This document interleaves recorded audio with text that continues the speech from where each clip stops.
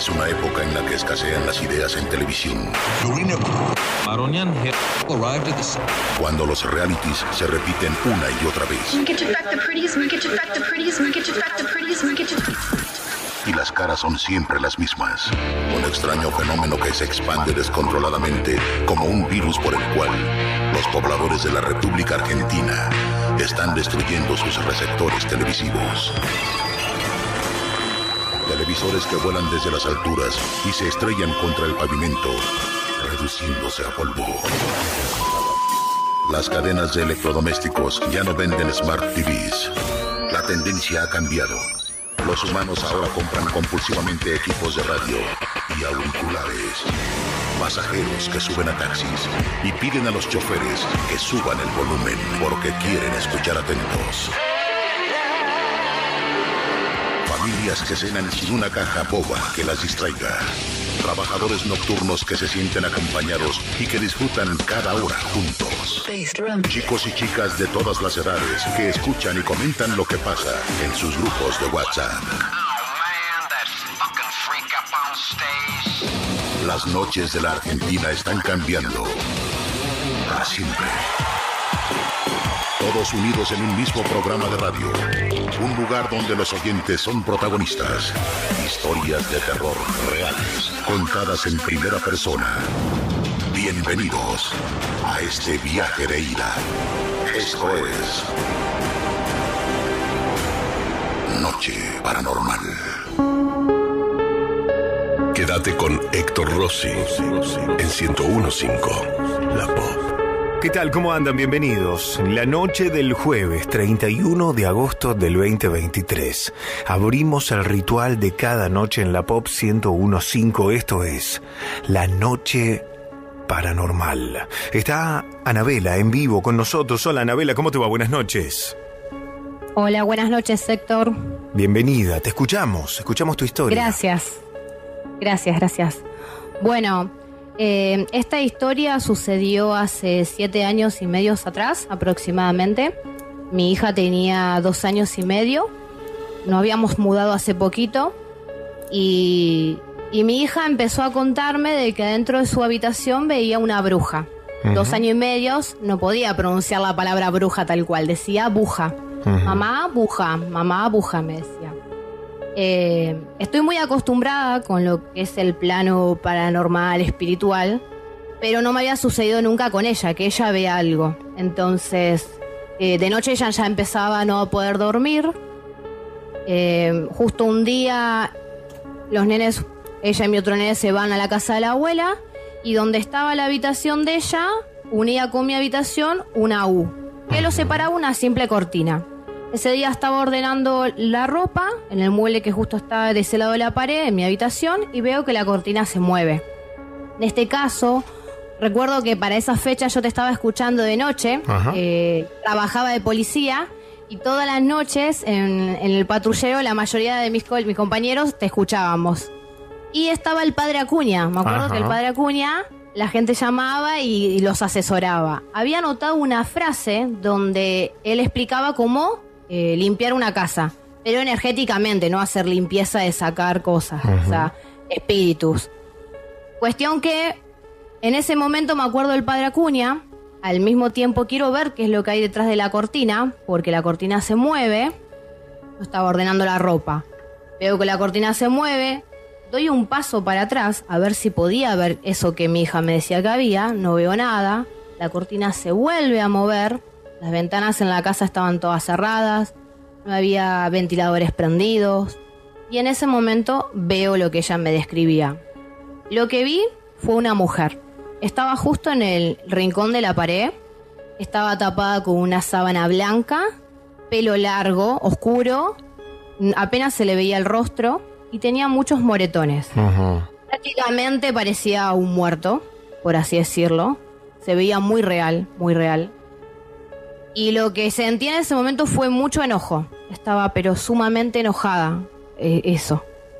¿Qué hice? Salí corriendo a buscar los saumerios, agarré el cuaderno con la frase que había anotado el padre Acuña y empiezo a ahumar toda la casa. Cuando paso por la cocina, ya ahí ya no la vi más, fue en ese momento nomás. Cuando paso por la cocina, humando, repitiendo la frase. Eh, de la cocina sale algo volando. Nunca me había pasado. Yo, solamente veo cosas. No, nunca me habían revoleado un objeto o algo que se haya movido. Me revolea, o sea, sale lo que se llama, ¿cómo es? los escabadientes. El paquetito de escabadientes y me lo da en la espalda. Bueno, abro las puertas, abro las ventanas, abro todo y empiezo a decirle en, muchas malas palabras que se vaya, que este era mi hogar y que acá no pertenecía.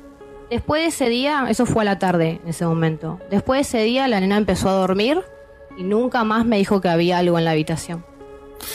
Bueno, lo que siempre decimos, viste, que mm, vamos a suponer que hay alguien escuchando la radio que dice, no creo en nada, fue la sugestión, pero justo desde el momento en el que vos haces este ritual, eh, ese evento deja de pasar y tu hija no va a inventar.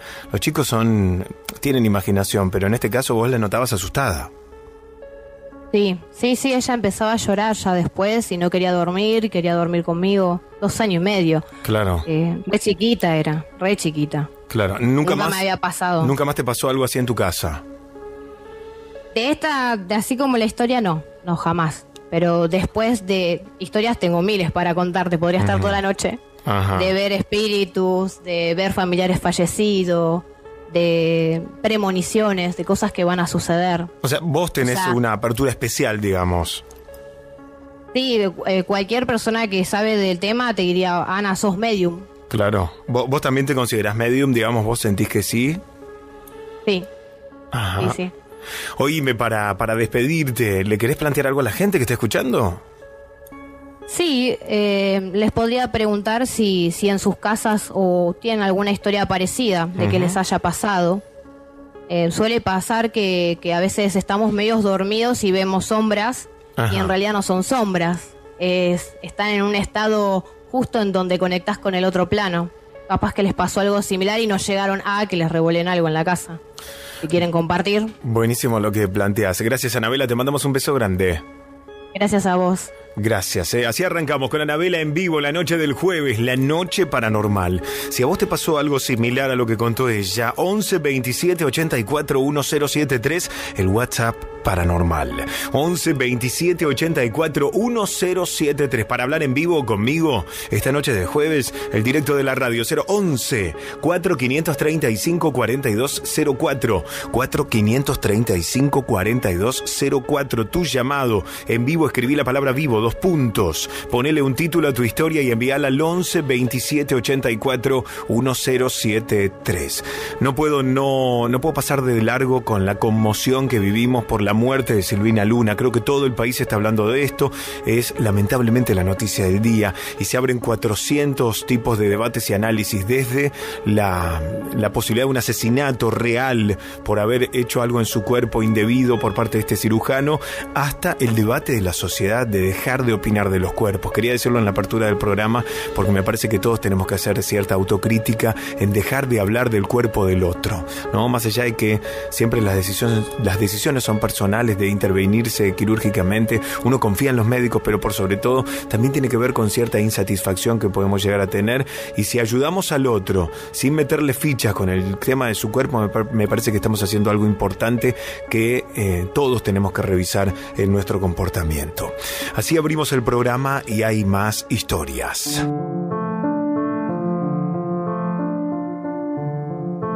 Hola Héctor, te habla Ángel de Varela. Te quería comentar lo que me pasó anoche. Espero que me lo pasen hoy al mensaje porque estoy escuchando ahora. En el día de ayer al mediodía recibo la noticia que había muerto un compañero por una enfermedad terminal que venía padeciendo desde hace muchos años y me amargó todo el día y anoche inclusive cuando me acosté a dormir y durante la mañana siento que alguien que me aprieta el pie izquierdo, que al darme vuelta yo duermo con mi señora esposa y miro para el lado del placar que estaban los pies míos y no había nadie. Yo asemejo que puede llegar a ser este, que mi compañero se vino a despedir debido a 20 años de, de convivencia laboral y la gran tristeza que yo llevaba adentro. Para mí que él se me vino a despedir, pero fue increíble el susto que me pegué.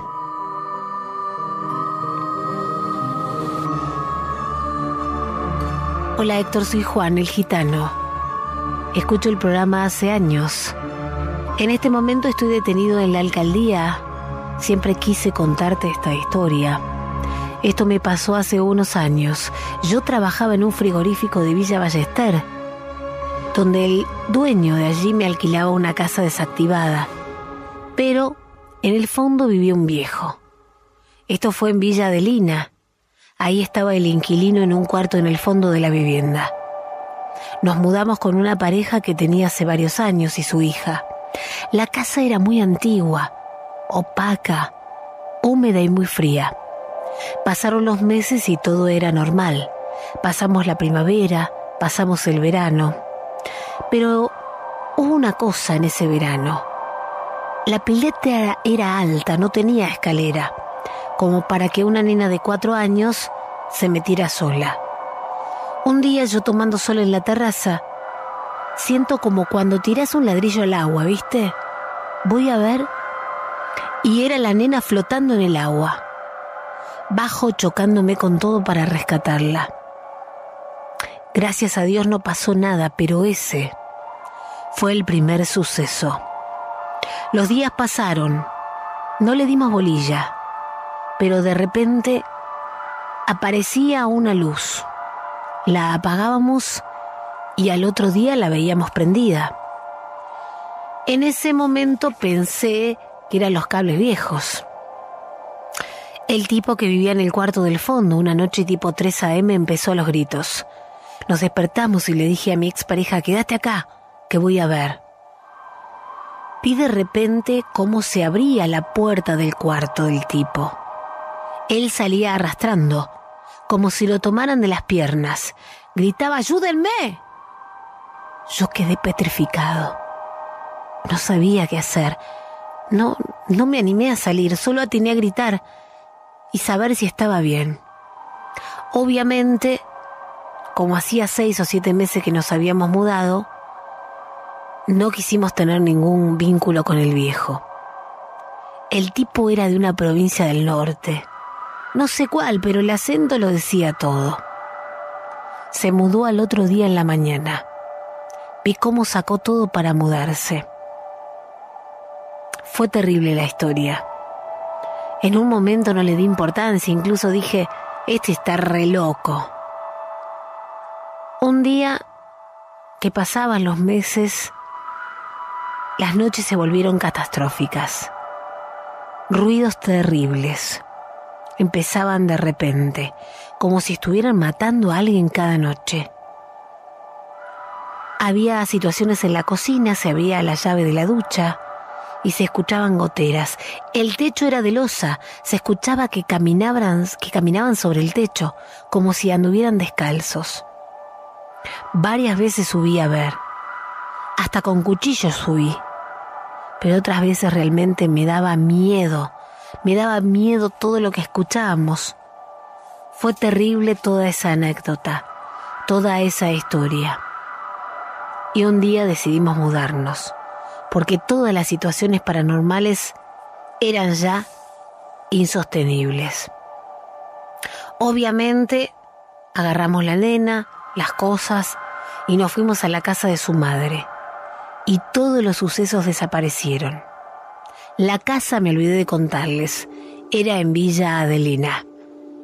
Un abrazo a todo el equipo. Pronto regreso con más historias. Hola, soy usted de Tucson y yo veo sombras negras muchas, muchas veces. Bueno, estuve acostada con mi mamá hace días en la cama combinando dibujitos y de una sombra negra muy, grande que se acercaba a mamá, cada vez más cerca. La verdad, yo la, la verdad, del miedo me quedé impactada. Muy buena la radio.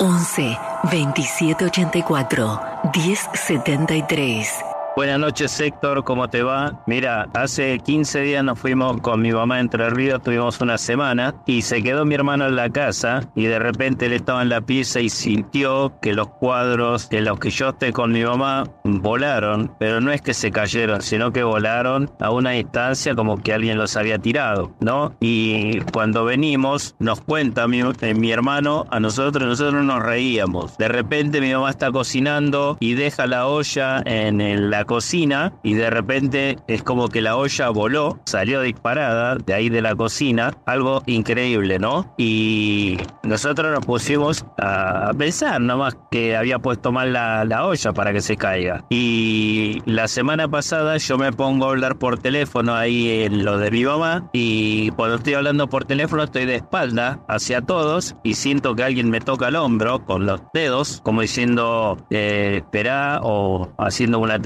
y primero no me quise dar vuelta porque estaba ocupado hablando por teléfono y después me vuelve a tocar y cuando me doy vuelta no había nadie. No le quise decir nada, a mi mamá, pero después agarré, lo pensé y dije, ¿se lo digo o no se lo digo? Y después me callé. Y en, esta, en estos días mi hermano dice, ¿quién me golpeó la puerta del... Salió, ¿no? Del, de la pieza. Dice, ¿por qué me golpearon? ¿Necesitan algo? No, nadie te golpeó. Entonces ahí ya me pongo a pensar y digo, algo está pasando, ¿no? La casa. Pero igual muchos no le damos bolilla, son cosas que, que pueden pasar. Pero esa es una experiencia que, que tuve en, en estos días.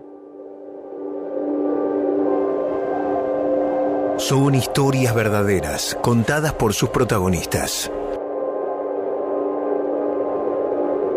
Hola Héctor y equipo, a mi pareja le pasó algo similar a lo de Cecilia, pero el trabajo fue hecho sobre un panteón. Hoy está con guía espiritual y la sana a distancia. El trabajo le provocó un montón de situaciones y también menopausia a temprana edad. Les mando un beso muy grande.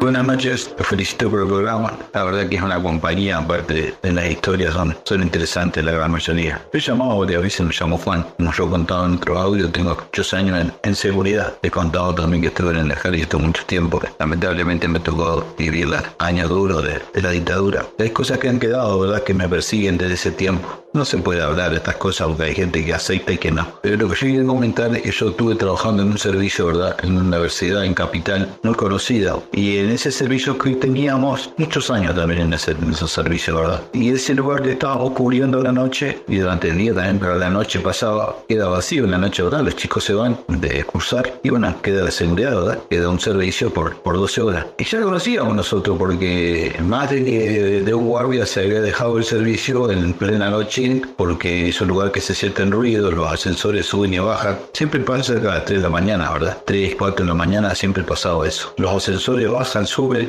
van al último piso, se van a, al sótano, vuelven a subir, las puertas se cierran y se abren solas. Y uno siempre tiene el presentimiento que, que uno siente, ¿verdad? Presiente que algo pasa por atrás, uno se llega a ver por el costadito del ojo que pasó algo. Pero yo años no sabía que existían cosas en ese lugar. Hacía caso, ¿verdad? No, yo nunca hice caso. Yo, para yo hacer la recorrida del primer piso al cuarto, yo cuando llegaba al tercero, de abrir el ascensor, yo pedía permiso para pasar, ¿verdad? Y nunca pasó nada, pero había gente que sí, que, que bueno, que tuvieron que abandonar el servicio a la madrugada porque no podían. Que bueno, era más fuerte que ellos el miedo que sentían, ¿verdad? Ese es un comentario. Yo siempre pedí permiso para entrar a ciertos pisos, no molestaba a nadie, no conversaba con lo que veía, pero yo veía que pasaba de un pasillo a otro. Sombras se veían, ¿verdad? Pero me acostumbré a convivir. sé que no se puede, pero bueno. Y después supimos con el tiempo que en ese servicio este, se hace este, prácticas de odontología, ¿verdad? Hay cráneos, hay fetos en cosas de vidrio, ¿verdad? Para estudiar, dentaduras, bueno, que son todos sacados de los cementerios, ¿verdad? Habla claro, porque, o gente que dona, pero bueno. Todo eso, bueno, y viene Aparentemente la gente que hace muchísimos años que trabaja ahí dice que, que, siempre pasó esas cosas, siempre pasaron. Bueno, nosotros lo atribuimos a eso, ¿verdad? Pero yo al menos no. Ya digo, pido permiso para entrar, pido permiso para salir, a lo que haya ahí, ¿verdad? Pero sé que hay, hay. Gracias, buenas noches.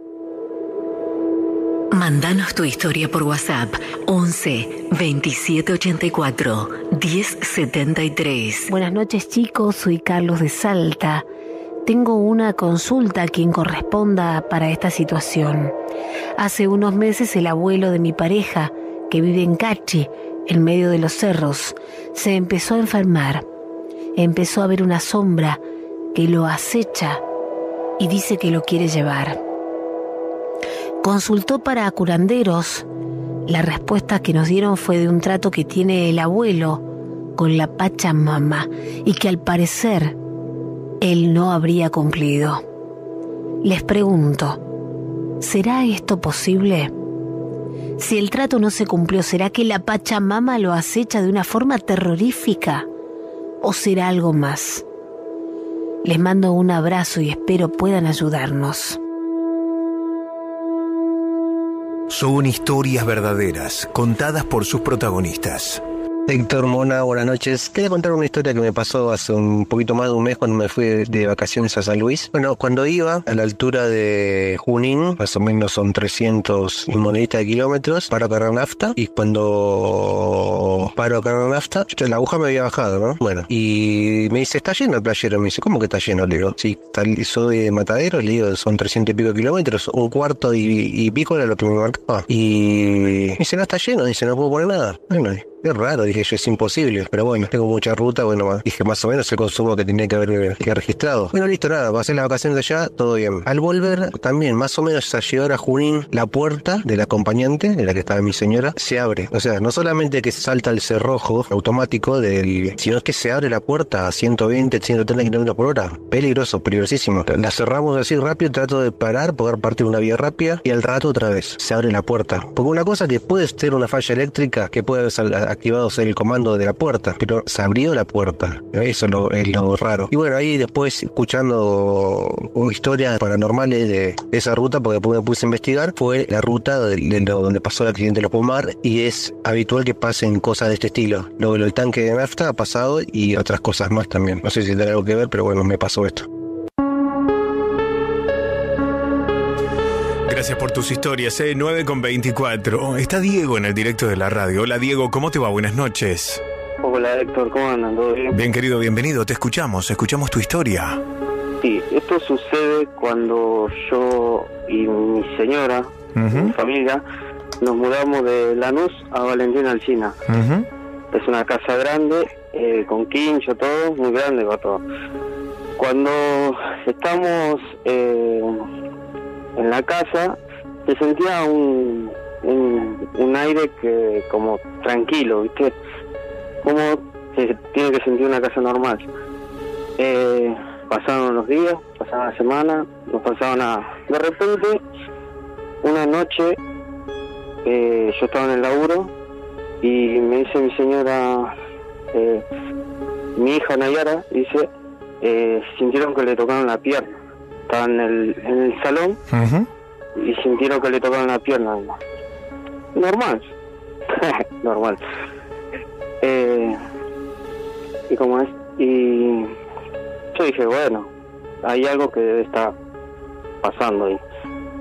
Eh, después un, un día, normal, eran las 12 del mediodía, estábamos parados en la cocina y el salón. Y vemos, mi señora me dice, mirá, mirá, mirá, me dice, y ve a un niño chiquito que cruzaba de habitación a habitación. en la vieja, la casa vieja tiene un chiquito, un chiquito corriendo pasa ahí en, entre las habitaciones. a habitación a habitación. Sí. Solo se le ve la cabeza y ¿qué pasó? Me dice, ¿lo viste? No, le digo. Bueno, pareció raro. Eh, a la noche eh, me dice, se escuchan pasos, ahí justo donde estaba el pasillo ese no le dimos bola. Eh, siguen pasando los días, pasaban, lo veía, porque venía mi cuñada, la hija, lo sentía, lo veía, todo. Eh, un día eh, estábamos acostados, ya era tarde, me duermo, estaba durmiendo profundo y sueño con el chiquito. Estaba yo en la habitación y veo a alguien que, que está caminando con la ropa del nene chiquito. Está vestido pero no se lo veía, era como tipo invisible. Sí. Eh, mi señora asustada se corre hacia el patio del fondo y están los gritos. Entonces, yo me voy con ella le digo, tranquila, es un niño chiquito que está buscando a su mamá, me parece. ¿Viste? Y Para vos le decís tranquila, es un nene chiquito, o sea, vos ya sabiendo que lo que estabas viendo era un fantasma tenía ropa de nene chiquito. Pero por eso, pero para, pero vos sabías que estabas viendo un niño espectro, un fantasma. Sí, sí, pero eh, solo veía la ropa como que si la tenía puesta. El bebé no se veía. Ok, ok. Eh, era de noche encima. Y antes de pasar al fondo hay una reja. el nene atravesó la reja y se iba para el quincho, donde estaba mi cuñada y donde estaba la hija de mi señora. Entonces empiezan los gritos como que eh, empezaron a gritar que desesperado porque ellos también lo veían, desesperados, todos estaban. Y yo decía, cálmense que debe estar buscando a la madre y el nene, el tipo, eh, se veía que los bracitos hacía como que quería upa. Quería que lo alzaran, sí. Claro, quería upa. Y al estar gritando, al estar tan asustada, llorando, el chiquito como que, como te resignás y te vas. Claro. Así, se, se fue por el mismo camino que salió, ¿viste? Y yo cuando me despierto le cuento el sueño a mi señora y mi señora me dice, ¿sabes que también lo soñé? Me dice. Me dice, pero le digo, no, no hace nada, le digo, no hace nada. Está buscando irse, le digo, está buscando que le den afecto, está buscando una salida, le digo. Nosotros cuando fuimos a Luján trajimos agua bendita, le digo, agua bendita para que se retire por donde se tenga que ir, que se vaya tranquilo. Eh, tiró agua por toda la casa, dijo que se vaya, o sea, bien, le invitó a que se retire, eh, después de eso no pasó más nada. Y últimamente, después de lo que pasó con el chiquito, empezó a aparecer como algo más, o sea, una mujer, porque eh, el audio de mi señor se escucha como una mujer que parece que está buscando el bebé. Estaba ya estaba ahí. Claro, claro.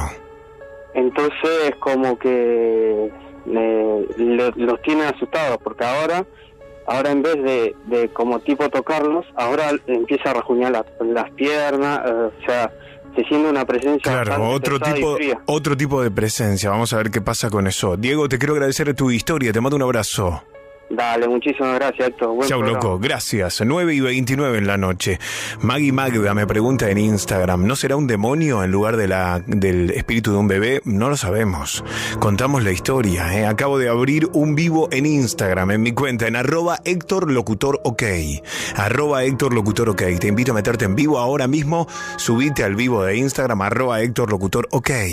Mandame un mensaje por inbox. Contame desde dónde nos estás escuchando la noche del jueves, último día de agosto, 31 de agosto del 2023. Hoy es San Ramón Nonato. Un abrazo a toda la gente de, de ahí del barrio. Bueno, en Capital Federal la parroquia está en Versalles. Ahí hice la escuela secundaria y también tuve mis primeros trabajos. Un abrazo grande que seguro siguen juntados ahí. Hace minutos debe haber terminado como la misa central. Un abrazo. Obviamente vos podés salir al aire y contarme tu historia en el 4535 4204, el directo de la pop. El WhatsApp paranormal 11 27 84 1073 audios o textos 11 27 84 1073 si tu historia es más larga por correo electrónico trasnocheparanormal arroba gmail.com trasnocheparanormal arroba gmail.com ahí estamos en vivo podés ahí escribir tu historia. Trasnocheparanormal arroba gmail com. Como si todo esto fuera poco, estoy en vivo en Instagram, Héctor Locutor OK. Seguime y al lado de mi nombre hay una campanita. Toca esa campanita, desliza para la derecha, activa todas las notificaciones, pero fundamentalmente activa las notificaciones del vivo, que te lleguen avisos cada vez que hago un vivo. Todo en mi Instagram, arroba Héctor Locutor Ok. Héctor, buenas noches, soy Ulises de Tucumán. Saludos para mi hermano Dylan que está preparando todo para el reparto. Héctor desde Uruguay, Carlos, son mi compañía desde hace años. Hola Héctor y Monita, un saludo grande para todo el equipo acá presente escuchando la radio. Soy de Villa Urquiza. Héctor, mis viejos te escuchan desde hace siete años cuando hacías el programa con Dani Lachepi. Desde General Roca, soy mía. Hola Héctor, hagan investigaciones como las que hacían allá por 2015 de mitos urbanos como Anabel o el maniquí La Pascualita. Están muy buenas. Cómo no, tomamos nota de todo lo que dicen. Romina La Mona Carballo. La Mona, buenas noches. Muy buenas noches, Héctor Rossi. Buenas noches, paranormales.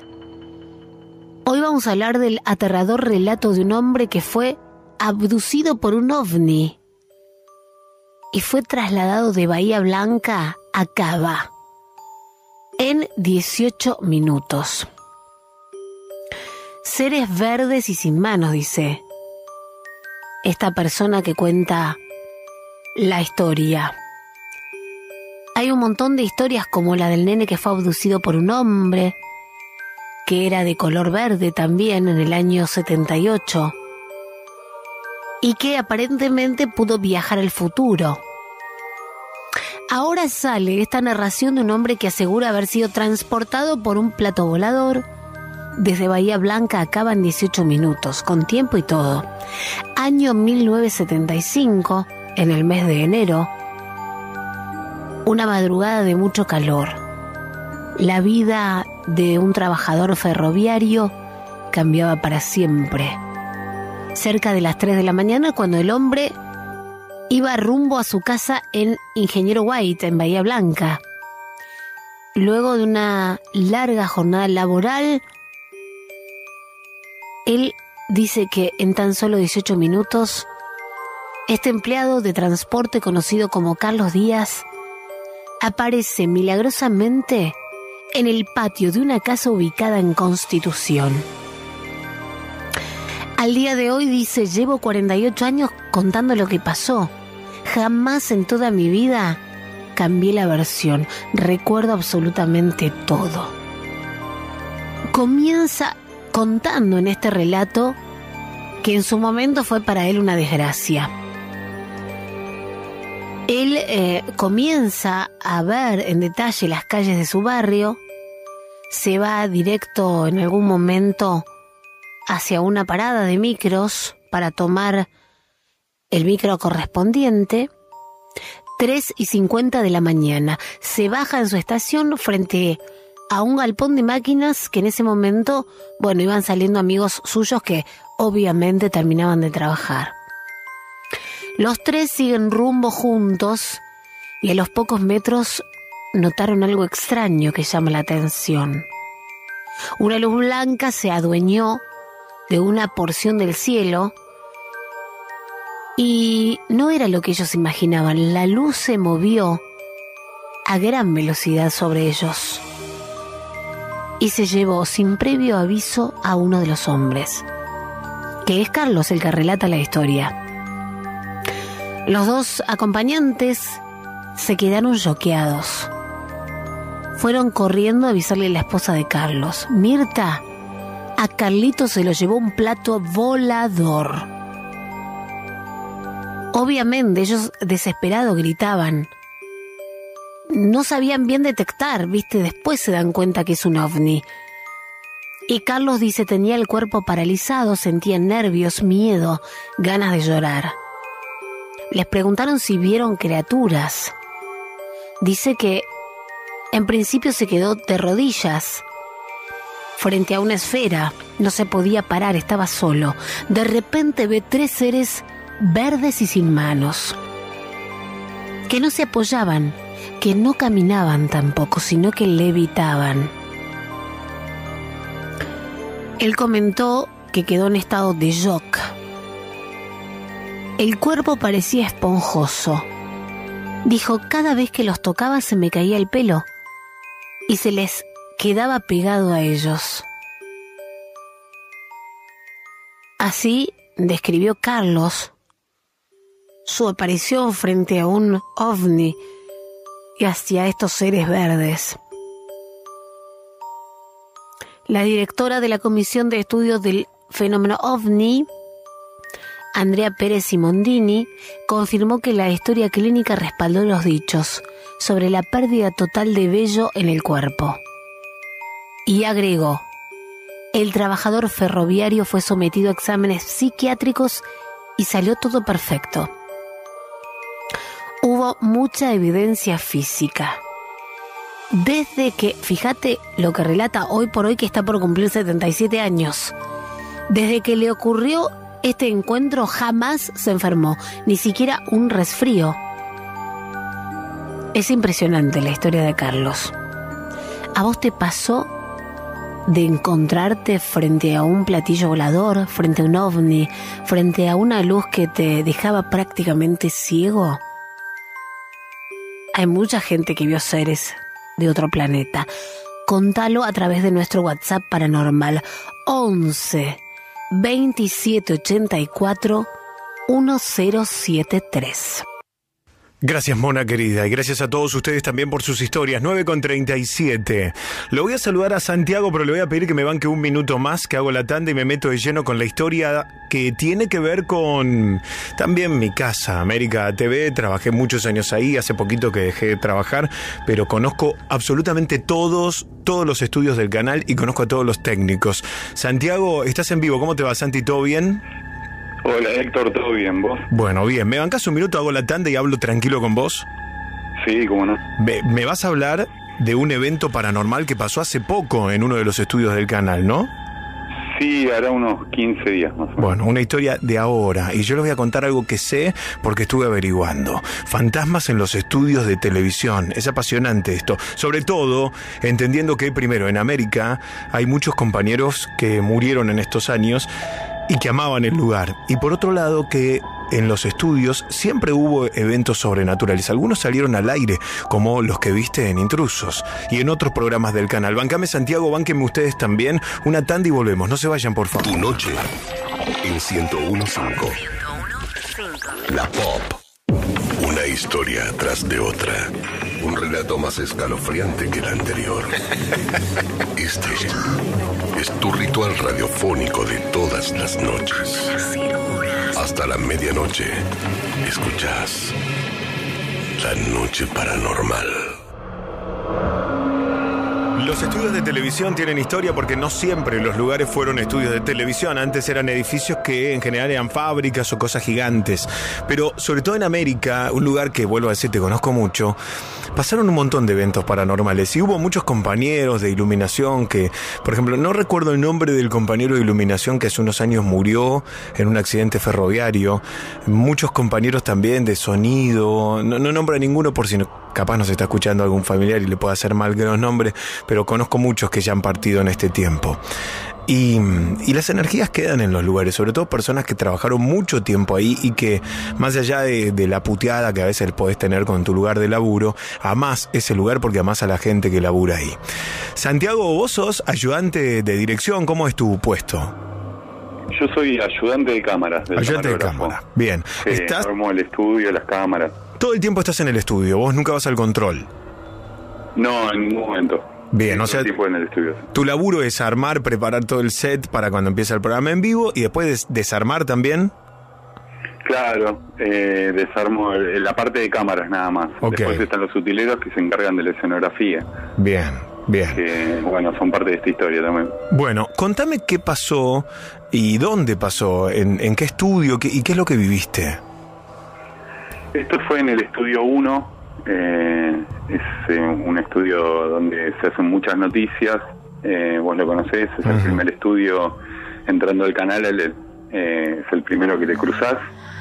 Y, y bueno, estábamos con tres compañeros, un utilero y un camarógrafo charlando en un corte, había mucha más gente en el estudio, y pero con el silencio del corte. Y mientras estábamos charlando, un, mi compañero escucha, y yo también lo escucho, eh, que se mueven cosas eh, atrás del decorado. Eh, sería justo atrás de la mesa de los periodistas, ponele, atrás de la pantalla. Para, para que la gente que no conoce los estudios... Sí, guíame porque es capaz que... No, no, pero para, para que todos lo, se lo puedan imaginar. Es el estudio desde, donde sale al aire la señal de Noticias A24, lo que él dice. Hay una escenografía, una mesa, están los periodistas, pero el estudio no termina en la escenografía. Detrás de la escenografía todavía hay un espacio donde hay cables, todo, y después viene la pared del estudio. ¿Cómo le llaman a ese espacio? Pasillo técnico, un lugar donde se puede pasar, pero que no sale al aire. Claro, es el pasillo técnico, tiene un, no sé, serán unos 40, 50 centímetros, porque más no tiene. Tenés que pasar con mucho cuidado, hay muchos cables. Eh, partes de escenografía, eh, no es un lugar fácil de, acceder y tenés que andar con cuidado. Así que lo, que nosotros escuchamos es que alguien pasaba por ahí sin cuidado y se llevaba todo puesto. entonces había ruido de cables, de, escenografía. Y cuando mi compañero me dice, ¿quién anda ahí atrás? Alguien anda ahí atrás. Y yo miro y le digo, no, ni idea, eh, porque a veces qué sé yo, puede pasar que haya alguien. este, corrigiendo algo. Y Claro. y miramos hacia el lugar, al costado de la mesa de los periodistas, y hay un pequeño espacio por donde se ve atrás de la escenografía, y por ahí vemos pasar algo. Este, algo que, no sé, te podría decir que es una persona, pero no, no muy definido, como algo que pasaba, porque es muy Sí. poquito de espacio. Entonces mi compañero dice, no, hay alguien, ahí, ahí vi a alguien. Y yo también lo vi, él va a ver quién era y vuelve pálido y me dice, che, no, no había nadie. Uy, Dios. Sí, fue, O sea, no, no, no solamente vos lo viste, hubo varios testigos de la presencia de alguien. Había alguien atrás de la escenografía haciendo ruido. Sí, fuimos dos, dos los que nos dimos cuenta y lo vimos, eh, yo y el utilero. El camarógrafo estaba justo de espalda hablándonos a nosotros, así que no lo vio. Este y bueno, y entonces cuando él me vuelve y me dice que, que no había nadie, yo voy por el otro lado, por el otro costado del pasillo, eh, no sé cómo explicarlo, eh, porque el, el estudio es como un cuadrado y tiene pasillos en- por todos los lados, digamos. Claro. Y voy por el otro lado para ver si se había ido para ese lado para interceptarlo y me vuelvo a encontrar con mi compañero, o sea, no había nadie. Nadie en el medio de los dos. Grisel, que es una, es una oyente, Santi, y además productora de América, que nos está escuchando, me está escribiendo y me dice, exactamente vi, a- vi lo mismo en el estudio 1. Dice, a un chico que siempre pasa, saluda. Mirá, o sea, viste con lo que es este programa, Santiago, ¿eh? Empezaste a contarlo y al toque aparecen com- compañeros del canal que están escuchando la pop, que también vivieron cosas en ese estudio. Sí, es- la energía, todos coincidimos que la energía en ese estudio es eh, fuerte. este, todos, eh, eh, no sé, hasta los que no creen en la energía coinciden Claro. que la energía ahí es fuerte y, y mm, sí, no sabía esto que te está contando, que, que había alguien que lo había visto ya, pero sí gente que relata otras historias capaz. Yo viví... También estaría bueno que hablen. Sí, obvio, y, y si conocen el edificio de donde funciona el Canal América también, ¿no? Vos sabés que mm, yo viví una experiencia, pero en ese estudio no, en el al lado donde se hace el programa Intrusos, yo viví varias experiencias. La última fue con la nieta de Menem, que explotó un sonido terrible por los parlantes, yo estaba ahí, no, fue nada técnico, y hace muchos años en Intrusos, cuando estaba Real, a mí me, me sacan una, me toman una foto y aparece en la foto un nenito. O sea, en ese estudio, un nene chiquito, que no estaba ah, lo ahí. recuerdo, sí. Que no estaba Sí, ahí. ahora que me lo. O sea, te digo, evidentemente pasan muchas cosas en, en los estudios. Eh, te y quiero. bueno, y sí. también el, el- había pasado algo con Graciela Alfano que se Claro, un- que se hizo el viral de, de- del escaramouche de, de Rapsodia Bohemia. Bueno, che, te quiero agradecer, Santiago, que nos hayas contado la historia. No, y- por favor, Héctor, gracias por por animarte. Te mando un abrazo y mandale saludos a todos. Dale, abrazo. Chau, chau. Con la historia de Santiago vamos a abrir la, la participación de ella, que es medium, que además es tarotista y que nos va a explicar bien de qué se trata esto. Es Fabiana Aquín y está en vivo con nosotros. Hola Fabiana, ¿cómo te va? Buenas noches. Hola Héctor, ¿cómo estás? Buenas noches a todos. Bueno, helados. escuchando. Helados. Eh, a ver, esto suele pasar en estos lugares, siempre. En todos lugares pasan estas cosas. Pero cuando es un estudio de televisión, que hay tantos estudios por ahí en un, en un edificio, como dijiste vos, hay historias en un teatro. De hecho, em- me ha pasado a mí también muchas veces experiencias fuertes así, pero más fuertes. Claro. Entonces, ¿esto qué significa? Son energías. Y vos fíjate, yo escuchaba que hablaban del estudio 1. ¿Conoces vos ese, uno. ese estudio, no? Con- no sé si conoces esos estudios de América.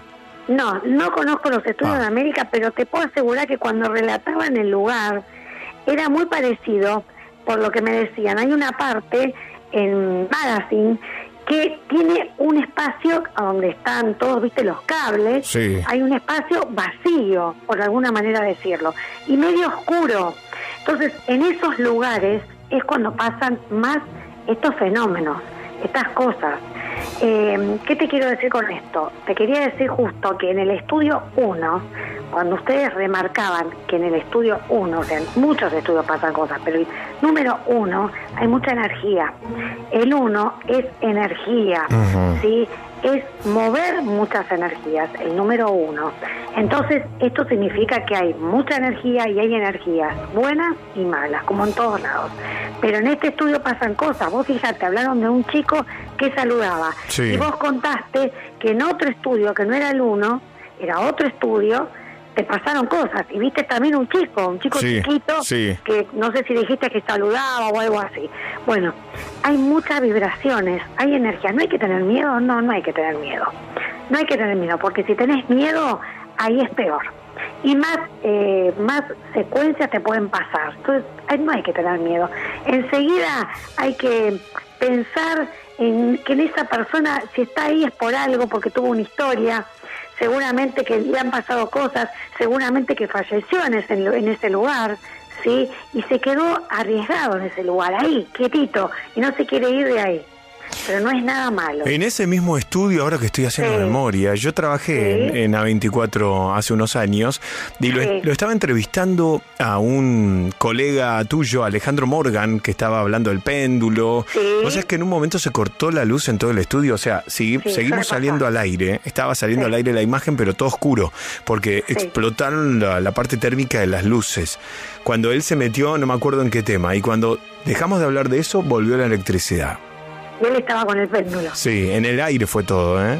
Claro, claro. ¿Por qué? Porque mueve energías al estar con un péndulo, al estar todo eso. A mí me pasó en Mañanísima un día que estábamos hablando, no recuerdo, te digo, te miento, no recuerdo el tema, pero era un tema también fuerte y de repente estábamos al aire, se empezó a apagar la luz y enseguida se encendió, o sea, se prendió y se, se oscureció en, en un segundo, en un abrir y cerrar de ojos.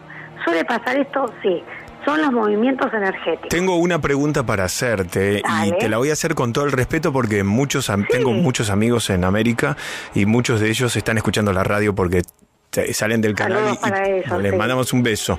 Mira, yo no voy a nombrar a nadie en particular, pero desde el tiempo en que yo empecé a trabajar ahí, hace 21 años, muchos compañeros murieron eh, por, por diferentes causas, asistentes de dirección, sonidistas, directores, gente de iluminación. Y yo quiero preguntar con todo el respeto, ¿puede ser que alguno de ellos, de su espíritu, haya vuelto al canal para, no sé, para, para estar cerca de los compañeros, para, para recrear algún momento que haya vivido cuando estaba encarnado? Totalmente, hay muchos hay muchos que, con todo el respeto también lo, digo, hay muchos que han fallecido y que no se quieren que no se quieren ir, se quieren quedar porque hay un cariño, hay periodistas que han fallecido y hay cariños, hay cariños muy fuertes, compañerismo. Bueno, eso también es, es, como una señal que te están cuidando. No voy a, no nombra a nadie de la, no, no nombra a nadie de los que la gente no conoce, pero sí podemos nombrar a alguien que todo el mundo sabe que falleció, que fue Mauro Viale. Y yo pensé en él. Y él estuvo mucho tiempo en ese estudio. Sí. O sea, tranquilamente puede ser una presencia. Vos sabés que vos eh, parece que me leíste el pensamiento, porque cuando vos lo nombraste, yo antes que vos lo nombraras, yo pensé en él, enseguida. Y no lo quise nombrar por una cuestión de respeto, eh, pero está bueno que lo nombraste porque sí, él, él está siempre. Y como él, hay mucha gente que está en un lugar, porque a ver, esto pasa acá en, en estos estudios, pero pasa en, en la vida, en, en, tu casa, en todos lados, en una fábrica, una persona que falleció, ¿sí? que por ahí eh, sufrió también y quedó en ese lugar. Entonces pasan estas cosas. Por eso siempre digo, no hay que tener miedo, hay que rezar. Hay que rezar. Cuando hay por ahí un, un, un espíritu que, que sufrió, ¿sí? que, que, bueno, que elevó o que está tratando de elevar y de alguna manera quedó ahí atrapado, hay que tratar de, de rezar para que eleve. Sí, siempre. Eh, rezar de la manera que vos reces. Porque hay gente que, es, que no cree, que es escéptico, obviamente, pero siempre en algo se cree. Y en eso uno se tiene que aferrar y pedir por ese ser para que pueda elevar. Eso lo puede hacer todo el mundo con, con amor y con fe. Claro. Che, me encantó todo lo que estamos hablando. Mañana nosotros vamos a grabar el mano a mano paranormal que se va a estrenar este sábado a la noche en mi canal de YouTube en arroba trasnoche paranormal, arroba trasnoche paranormal. Este sábado a la medianoche el mano a mano con Fabiana Aquín en arroba trasnoche paranormal. Vamos a hablar de esto también y quizá si, si, esta noche encuentro el video y un par de fotos, las, las vemos mañana en el mano a mano y la, lo ponemos al aire el sábado. ¿Te parece? Me encanta. Y te cuento algo cortito, sí, Héctor. Sí, obvio. Mirá lo que me pasó antes de ayer. Me pasó algo para que la gente sepa que a mí también me pasan cosas. A ver, yo estaba en la cocina, ¿sí? No había nadie. Vos conocés mi casa. Sí. Bueno, yo estaba en la cocina y el patio estaba cerrado. Eh, ¿Qué pasó? La ventana tiene un vidrio con una rejita y se me da por mirar y veo pasar un hombre Mira. Digo, opa, digo, ¿qué pasó? Mira que yo estoy, estoy acostumbrada. Digo, ¿qué pasó acá? Le digo, alguien que saltó, porque, a ver, uno tiene enseguida esa, ese temor, viste, ese Claro. cuidado. Y miré, así me asomé con la puerta cerrada y la ventana cerrada y no había nadie. Entonces ahí digo, abro la puerta y vuelvo a ver de vuelta una sombra oscura, ¿eh? Esta era oscura, que pasó y, y atravesó. Se lo conté a, a Toto, a mi marido. y, y sí, suele pasar, estas cosas pasan. Y, en- y mira vos, yo lo vi, el color era oscuro, que no es bueno. Enseguida limpié. Bueno, estamos todos conectados. Te siguen en arroba aquinf de fósforo, eso es en Instagram, arroba aquinf. ¿Y dónde más, Fabiana? Mi canal de YouTube, Fabiana King Oficial, Fabiana King Oficial, ahí está mi WhatsApp y me pueden contactar lo que necesiten. Fabiana, te mando un beso grande. El sábado nos vemos en el mano a mano paranormal. Gracias. Sí, imperdible. Un beso grande para vos y para todos los oyentes. Fabiana King con nosotros en la noche paranormal. Gracias, Fabiana. Bueno, qué noche fuerte, ¿eh? Y encima hoy hay historia central retro. Suban el volumen porque este es un adelanto. Esta es la historia real de la Cruz de Plata en primera persona. Mi nombre es Mariano y tengo 40 años. Soy de Villa Urquiza. Nunca fui bueno contando anécdotas, pero voy a tratar de transmitirles el horror que tuvimos que vivir entre 1994 y el año 2000 junto a mi familia. En aquella época yo era un joven adulto de 19 años. Laburaba como ayudante de un carnicero. Hubiese preferido hacer la facultad, pero en mi hogar las cosas estaban jodidas. Mi padre, que era un bebedor empedernido, no podía sostener un trabajo más de seis meses. Su comportamiento en aquellos años era cada vez peor. Todo explotó justo el día que nos eliminaron del Mundial. Yo había estado laburando. Cuando regresé a casa vi todas las cosas tiradas. Mi padre, totalmente borracho, estaba tratando de arrancar un cuadro de la pared y mi madre lo sujetaba. Entonces, en un arrebato de furia, él se dio la vuelta y le dio una cachetada a mi mamá. Aquello fue demasiado. Yo no iba a levantarle la mano a mi padre. Juntamos lo que pudimos y nos fuimos a la casa de mi tía, que ya antes nos había ofrecido alojamiento si pasaba algo. Es acá donde el horror comienza. Mi tía es jueza, hoy ya jubilada. En esa época ya vivía sola. Su marido había fallecido y sus dos hijas tenían familia. Su casa tiene planta alta, galería, living y patio. Según lo que me habían comentado, la construyeron a principios de 1940 y ella la heredó en los años 80. Nosotros ocupábamos la planta baja. Para ir a la cocina desde los cuartos había que atravesar la galería. Es ahí donde por las noches podían oírse Para cosas. Mauro, solo un adelanto, solo un adelanto. En un rato la historia completa. Escucha para, para, para, para, para, para, para, para, para, para, de para, para, adelanto, para, adelanto, para, para, para, para, para, y para, pone para. la historia completa, chabón. Para, chabón, quédate con nosotros. 4535-4204, el directo de la pop. El WhatsApp paranormal. Contame tu historia en un audio. 11 27 84 1073. 11 27 84 1073. Mañana viernes debut Soy Tan Beautiful a las 9 de la noche acá en la Pop. Así que vamos a hacerle todos el aguante a la Barbie y Pampito que hoy van a estar en la noche paranormal contando sus historias paranormales, haciéndole la previa Soy Tan Beautiful mañana viernes a las 9 de la noche en Pop. Eso va a pasar mañana, el sábado la mejor programación y el domingo volvemos. El domingo 3 de septiembre a las 9 de la noche prendemos las cámaras, te invitamos a Uriarte y Nicaragua, que vengas a vivir la noche paranormal a los estudios de la Pop, Uriarte y Nicaragua, pero también nos podés seguir en vivo en el canal de YouTube, nos vas a poder ver. El domingo el plan es mirando, mirarnos por la tele, poné YouTube en el Smart TV, en la compu, en Pop Radio 1015 y hoy vamos a estar todos en vivo. Pero voy a tener un fin de semana con mucho contenido paranormal en mis redes, en mi canal de YouTube en arroba trasnoche paranormal. Ya te dije, tengo un doble mano a mano este fin de semana. Empieza a las 11 de la noche ¿eh? y va a terminar a la 1 de la mañana en mi canal de YouTube en arroba trasnoche paranormal. Pero además, voy a hacer un vivo de Instagram este sábado, 2 de septiembre a las 8 de la noche.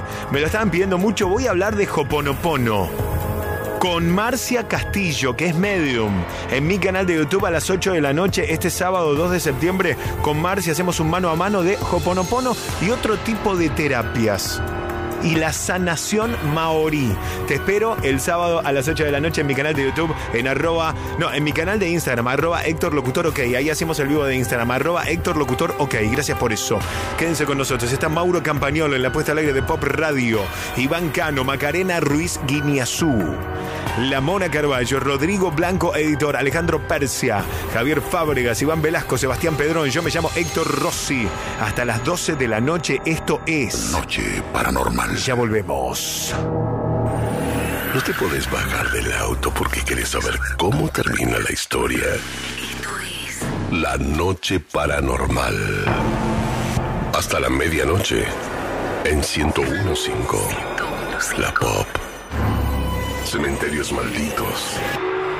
Carreteras llenas de almas en pena. Casas embrujadas. Acá no hay ficción. Hay historias reales. reales. Estás en la noche paranormal. Esta es la historia real de la maldición de una santa en primera persona. Me llamo Alex y soy de la provincia de Misiones. Voy a contarles esta historia que me pasó en 2003. Por aquellos años, yo vivía en el interior de la provincia. Era como se dice una zona bien marginal. Mi padre era un ebrio que estaba purgando una pena de cinco años por robo. Mis otros cinco hermanos y yo nos manteníamos no sé cómo, gracias a mi madre que tenía un puesto para la venta de torta. Pensábamos que la vida no podía ser más dura con nosotros. Pero entonces, de un día para el otro, mi mamá comenzó a ponerse enferma. Los médicos dijeron que tenía esa terrible enfermedad con la letra C. La cuestión es que cada día estaba peor. Una mañana vino a vernos una señora de la iglesia, me acuerdo ese momento, porque vino en una camioneta con dos tipos y una imagen de yeso. Era tan grande que entre los dos la bajaron hasta nuestra casa. No quiero nombrar a esa santa, ya mucho mal viví. La imagen de yeso parecía extraña en nuestra humilde casa, pero nosotros hicimos caso y le rezamos cada noche.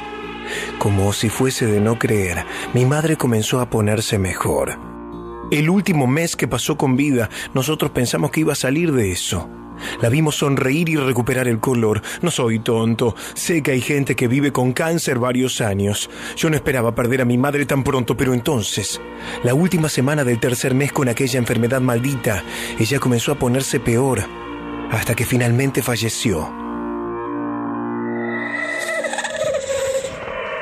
Después del entierro, lo primero que hice fue ir a mi casa. Mis hermanos más chicos me miraban mientras yo, hecho una fiera, agarraba a esa santa a duras penas. No sé cómo tuve aquella fuerza, pero la tiré contra una pared entre blasfemias y lágrimas. No hiciste nada, santa de mierda.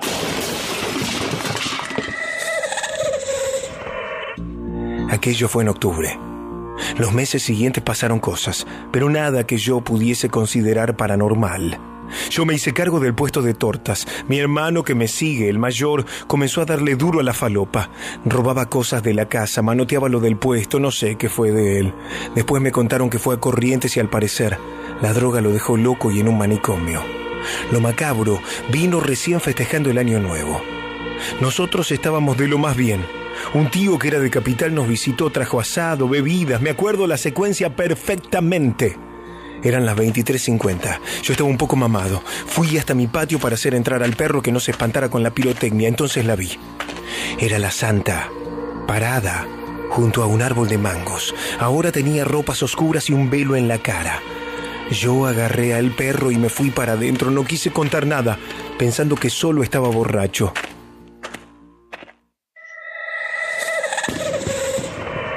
A las 12 el cielo explotó en colores. Fui hasta la vereda a ver los fuegos artificiales con mis hermanitos. Entonces sucedió. Escuchamos el relinchar de caballos. Un montón de ellos venían corriendo por la calle, obviamente enloquecido por los estruendos. Yo comencé a hacer entrar a mis hermanos. Cuando vi que faltaba Gastón, el más chico, ya era demasiado tarde. Estaba ahí en la calle, todo roto, con la mandíbula dislocada y los huesos partidos había sido pisoteado en la estampida. Mientras pedían ambulancia, yo fui machete en mano a la casa de un vecino carrero que tenía caballos. Antes de hacer una barbaridad, me di cuenta que todos sus caballos estaban atados. Fui preguntando por el barrio hasta que un vecino me dijo, salieron corriendo del monte todos juntos como locos. Eso no pudo ser casualidad. Justo se les ocurrió salir del monte y pasar a tropel por mi calle. Aquello fue solo el inicio de la maldición. Mi hermanito no aguantó ni tres días que falleció, pobrecito, pero fue lo mejor. Hubiésemos tenido que criar un convaleciente vegetal toda la vida, no teníamos recursos y hubiese sufrido mucho.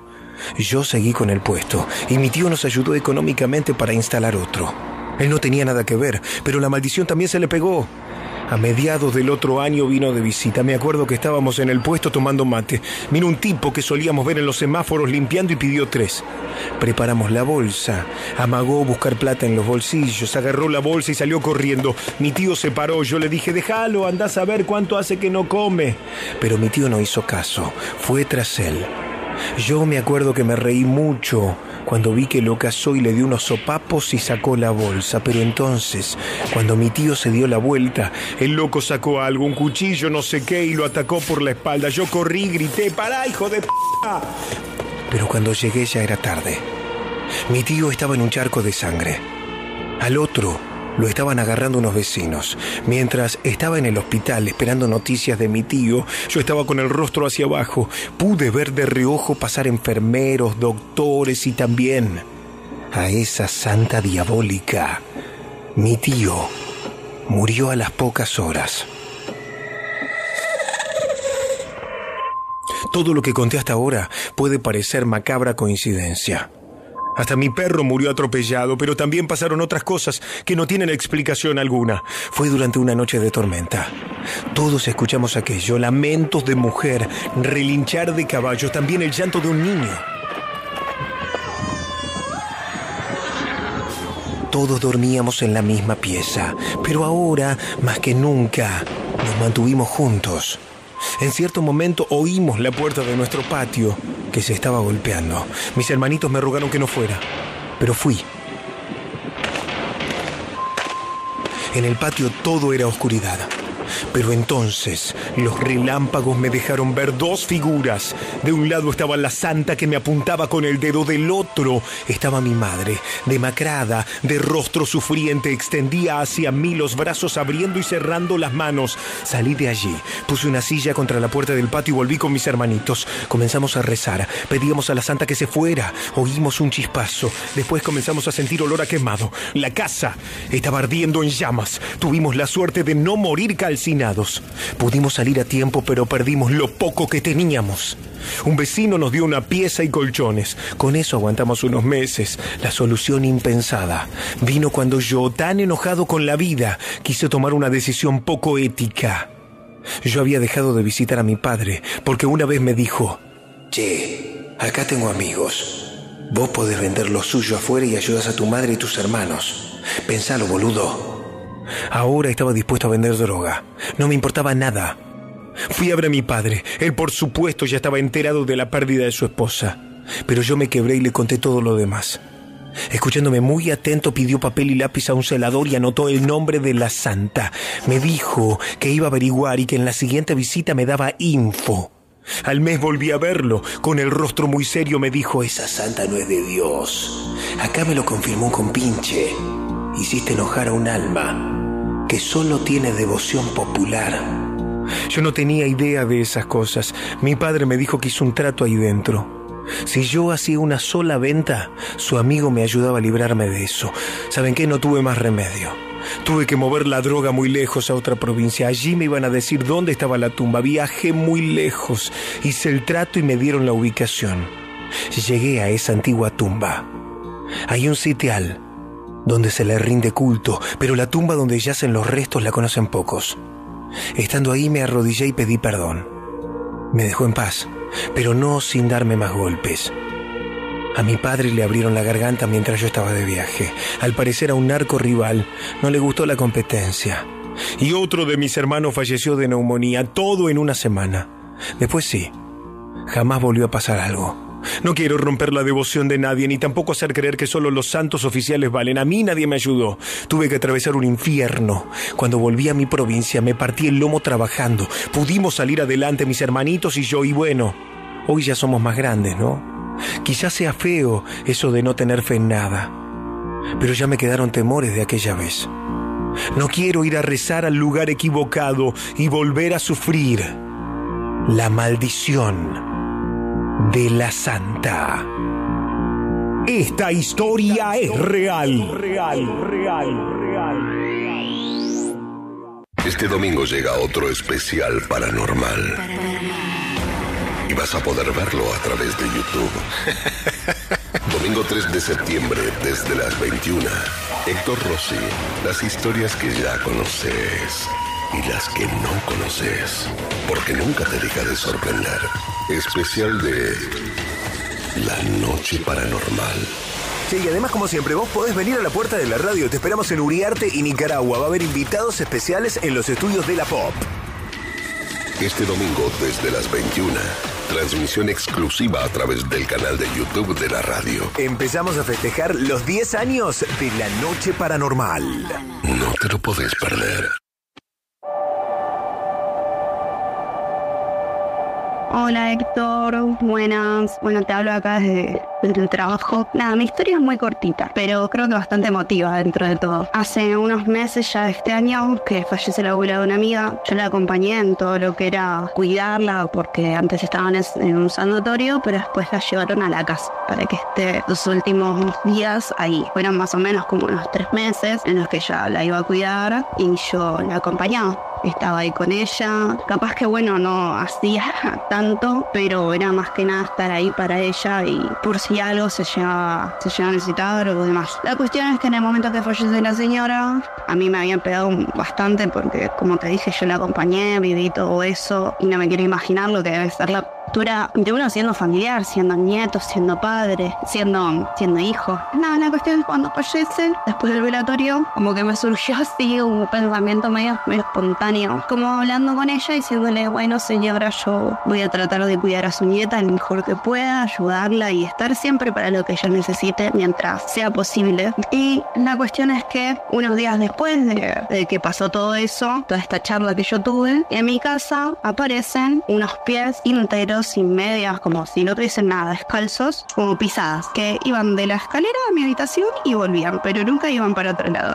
la cuestión es que yo esto se lo comento a mi amiga y, y ella me dice, mira qué casualidad, porque a mi abuela algo que le encantaba era, porque era como con tierrita, no sé, era medio raro todo, porque eran pies con, marcados bien y con tierra que solo iban a mi habitación pero no entraban. Y decía que a su abuela le encantaba tener los pies descalzos en la tierra, en el pasto de su patio. Nada, la verdad que fue muy, muy loco toda esa situación, muy emotiva la conversación aparte y me pareció bastante copado como para contarlo por acá. Les mando un saludo para los de la radio y genial todo. Chau, chau. Chao, gracias a vos. 2214, estamos en vivo. Héctor, vivo en La Plata y una noche después de la inundación de 2012, que fue un desastre, volvía de madrugada de reunirme con compañeros de la facultad. Iba por Diagonal 74 en auto y cuando voy a bordear una plaza de 24 y 65 van a cruzar tres personas mayores de camisón mirándome. Yo acelero asustada y cuando miro por el espejo no había nadie, no había nadie en toda la esquina, nunca me lo pude explicar. Esto me pasó realmente, la inundación de La Plata fue terrible y murieron muchas personas. Hola amigos paranormales, soy María quería consultarle al doctor Lacera sobre un sueño. Hablaba con un sacerdote, sotana larga, negra, cuellito blanco. Le decía que era imposible que algunas cosas religiosas fueran ciertas como la ascensión de la Virgen. Le decía que no podía ser que nadie la viera subir. Él me respondió, ellos están acá. Fue muy real. Parecía realmente que hablaba con él. Terrible, ¿eh? Fuerte. ¿Querés salir al aire? 4 535 42 04 4535 42 04. El WhatsApp paranormal 11 27 84 1073 11 27 84 1073 Ahí podés conectarte con nosotros en vivo para salir al aire. Mañana empieza una nueva temporada de Soy tan Beautiful en el aire de pop. Y nosotros tenemos historias paranormales de Pampito y de la Barbie. En un minuto vamos a compartir las historias de ellos. Pero antes está en vivo Iván en el directo de la pop. Iván, ¿cómo te va? Buenas noches. Hola, buenas noches. Buenas noches, bienvenido, te escuchamos, escuchamos tu historia. Hola, ¿cómo estás? Bueno, esto me pasó hace en el año 2017, caí internado en un hospital. Eh, y bueno, eh, estuve en la guardia por una infección en el ojo. Y bueno, eh, estuve la tarde y después bueno, eh, me acosté, me dormí y sentí que, bueno, no sentí, sino que presencié eh, como que mi alma se desprendió de mi cuerpo y se sentó al costado de la cama en donde yo estaba acostado. Y bueno, y me miraba como yo estaba durmiendo y después estuve sentado así un, un ratito y después vi como una, una sombra salió de atrás de la cama en donde yo estaba. Sí y iba este, caminando así como una, o sea, era una sombra que se iba alejando, pero a la vez iba por atrás de la cama en donde habían tres pacientes más que eran mayores de edad, eh, adultos, y justo llegó la tercera cama que estaba justo al frente, me daba de frente hacia mí. Sí. Y bueno, y cuando yo, yo lo miraba, quedé impresionado, quedé mirándolo era horrible la, la cosa que veía, la sombra que yo veía, porque era como, tenía como pata de cabra, pues lo pude ver en las primeras dos camas, cómo era, y tenía cuernos, ay, me da impresión recordar eso. Y después cuando se paró justo en la cama que estaba frente a mí, la persona, el abuelo, eh, levantó la mirada y me miró y me señaló al abuelo diciendo a él me lo voy a llevar. Ay Dios. Y yo quedé así como choqueado, eh, duro, digamos, no, no hice ninguna reacción, yo quedé sentado así, quedé ahí. Solamente podía mover la cabeza y, y observaba, pero no podía decir nada. Y después como que esa misma sombra volvía por el mismo lugar donde circulaba y llegó a la, sería la tercera, la segunda, que estaba cerca de mi cama, y a él también, me señaló así con el dedo, diciendo a él también me lo voy a llevar. Y cuando volvía de nuevo por el lado de donde salió, en la parte de, de la guardia de ese hospital donde están los enfermeros, salió tipo un doctor, no sé, algo grande, un médico de, así de con ambo verde y empezó como a pelear con esa sombra y decían, no, no te lo vas a llevar, que yo lo voy a cuidar, no te lo vas a llevar. Y empezaron a pelear por un rato y bueno, y después todo eso, eh, no sé qué pasó, eh, me desperté. ¿no? Eso fue como a las 8 de la mañana que me desperté, o sea, fue mi inconsciencia, no sé qué pasó. Yo me dormí, después cuando recordé eso, me desperté a las 8 y agarré todo, estaba desayunando y recuerdo este al abuelo que estaba frente mío. Esa ocho y media empiezan a correr los enfermeros. Sí. El abuelo que se este, pasó un paro, cerraron la cortina, murió. Dios. Ay, no, dije yo. Y después, a las nueve y media, yo todavía seguía en la guardia esperando para el traslado a, a una habitación. Y lo mismo estaba pasando con el paciente de al lado. Y dije, uy, ¿qué habrá pasado? Porque después, bueno, me justo me sacaron a mí a una habitación que estaba esperando. Claro. Pero fue, la verdad, muy, muy, muy impresionante, pues lo tengo clarísimo, bien vivido, Claro. como si hubiera pasado ayer. Y terminaron muriendo lamentablemente como una especie de sueño premonitorio o de una entidad que te advirtió que iba a haber muertes ahí alrededor. Iván, te agradezco. Gracias por estar con nosotros. Bueno, muchas gracias a ustedes. Un abrazo. Gracias, loco, un abrazo. Che, déjame agradecerle primero, antes de lo de Pampito y la Barbie, a la casa de Tafí.belarga, arroba la casa de Tafí.belarga, que nos mandaron tamales en chala, empanadas tucumanas. Son fanáticos de la noche paranormal, tienen tres sucursales, están en el mercado de Villa Crespo, en el shopping de Cabellito y en el Alto Palermo. Seguilos en arroba la casa de Tafí.belarga. Son riquísimas esas empanadas, loco. Puedo vivir a empanadas de la casa de Tafí de acá hasta el, mi último día. Gracias por eso. Bueno, mañana comienza Soy tan beautiful a las 9 de la noche. Ahora en su nuevo día y horario, viernes 9 de la noche. Como obviamente les estamos dando la bienvenida a la noche de la pop a nuestros compañeros, vamos a recibirlos con historias paranormales. La Barbie de Soy Tan Beautiful, que mañana viernes a las 9 de la noche va a estar en vivo acá en la Pop, nos cuenta su experiencia paranormal. Hola, hola, hola, hola Héctor, hola Noche Paranormal, ¿cómo andan? Soy la Barbie y les voy a contar eh, una historia que, que hace mucho que se cuenta, que hace mucho que está en el folclore, en el folclore del boliche América. América, el boliche que está sobre la calle Gascon. Yo trabajé muchísimos años, pero, pero hasta, el hartazgo. Este, y se decía que en el boliche América, antes fue Búnker, que quedaba en la calle Anchorena, este, eran cuatro dueños y fueron muriendo. Y justo el día de la inauguración, Búnker, Búnker este, lo cerraron y abrieron el, el, el siguiente boliche que fue América.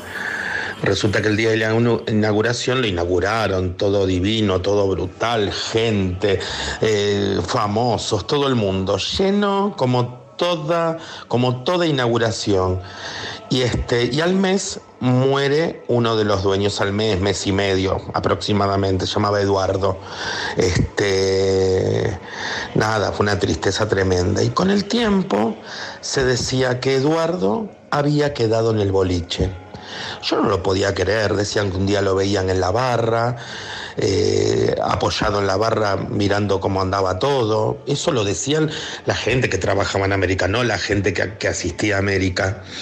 Después otra de las cosas, se presentaba en el guardarropa, eh, sentían la presencia, ¿no? Que hola, ¿qué tal? Sentían la presencia en en- en- en el guardarropa y sobre todo se, se sentía la presencia de Eduardo en el camarín, en el camarín del fondo de todo de América. Este, yo, no, no creía nada, nada de nada.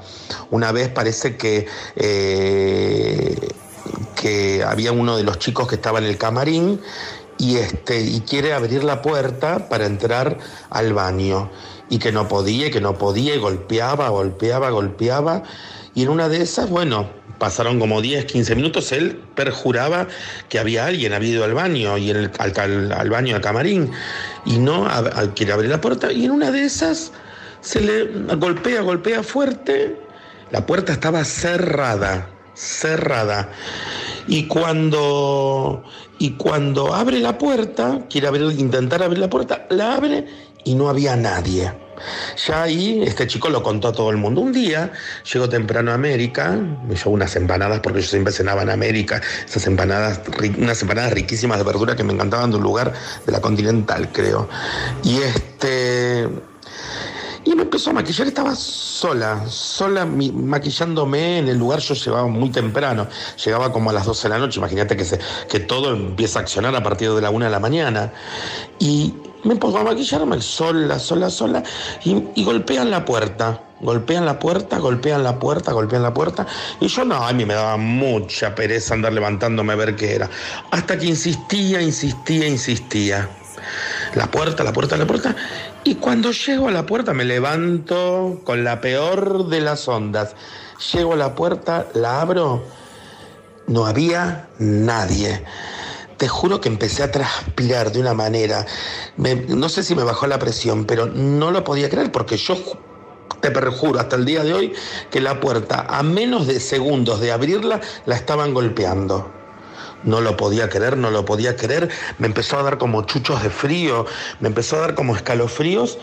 Y la verdad fue la primera vez que Eduardo, el que decían que era la aparición que estaba en América, el fantasma del boliche América, se me presentaba. Yo lo que recuerdo de Eduardo es que me trataba con un cariño enorme, enorme. Bueno, todos los dueños me trataban con, todos los dueños hasta el día de hoy me tratan con un cariño y un amor tremendo.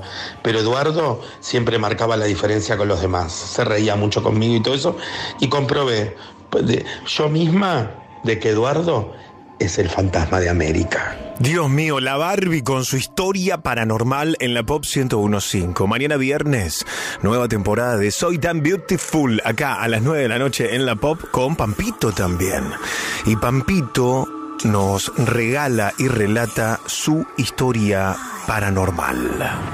Bueno, mi historia paranormal arranca cuando me vine a estudiar a Buenos Aires. Como algunos saben, yo soy de La Pampa. Eh, cuando me vengo a estudiar a los 18 años, eh, uno eh, empieza a tener su, su grupo de amigos muy fuerte, porque empieza a ser de alguna manera su familia. Y un día, con mi grupo de amigos, no tenemos mejor idea que ponernos a ver la película, la clásica película El Exorcista. Bueno, esa película a mí me generó un miedo, pero no sé por qué, pero muy desmedido. Tan es así que durante muchos años eh, no pude dormir solo, no podía estar solo en mi departamento de estudiante y siempre tenía que venir a dormir alguno de mis amigos a casa o yo ir a dormir a la casa de alguno de mis amigos. Eh, de hecho, eh, se turnaban, me, hicieron el aguante de una manera muy increíble. Eh, no me pregunten por qué esa película me generó tanto miedo, pero lo que sí te puedo decir es que pasaba noches aterrado, estando solo o estando acompañado. Pero hay una noche que, que recuerdo muy bien que tiene que ver cuando yo ya había arrancado a trabajar, eh, mis amigos, era un día jueves, no me lo olvido más, mis amigos salían todos de, joda eh, y ninguno se había podido quedar a, a- dormir conmigo. Ellos me insistían para que yo salga con ellos de joda. Total, después al otro día, a la madrugada, nos íbamos a ir todos a dormir a algún lado. Pero yo trabajaba temprano, había arrancado a trabajar en la tele como asistente de producción del programa de Lucho Avilés y decidí quedarme. Dije, bueno, tengo que ser valiente, ya pasó mucho tiempo de que vimos esa película, tengo que poder dormir solo. Bueno, esa noche eh, creo que es la noche con más miedo de mi vida.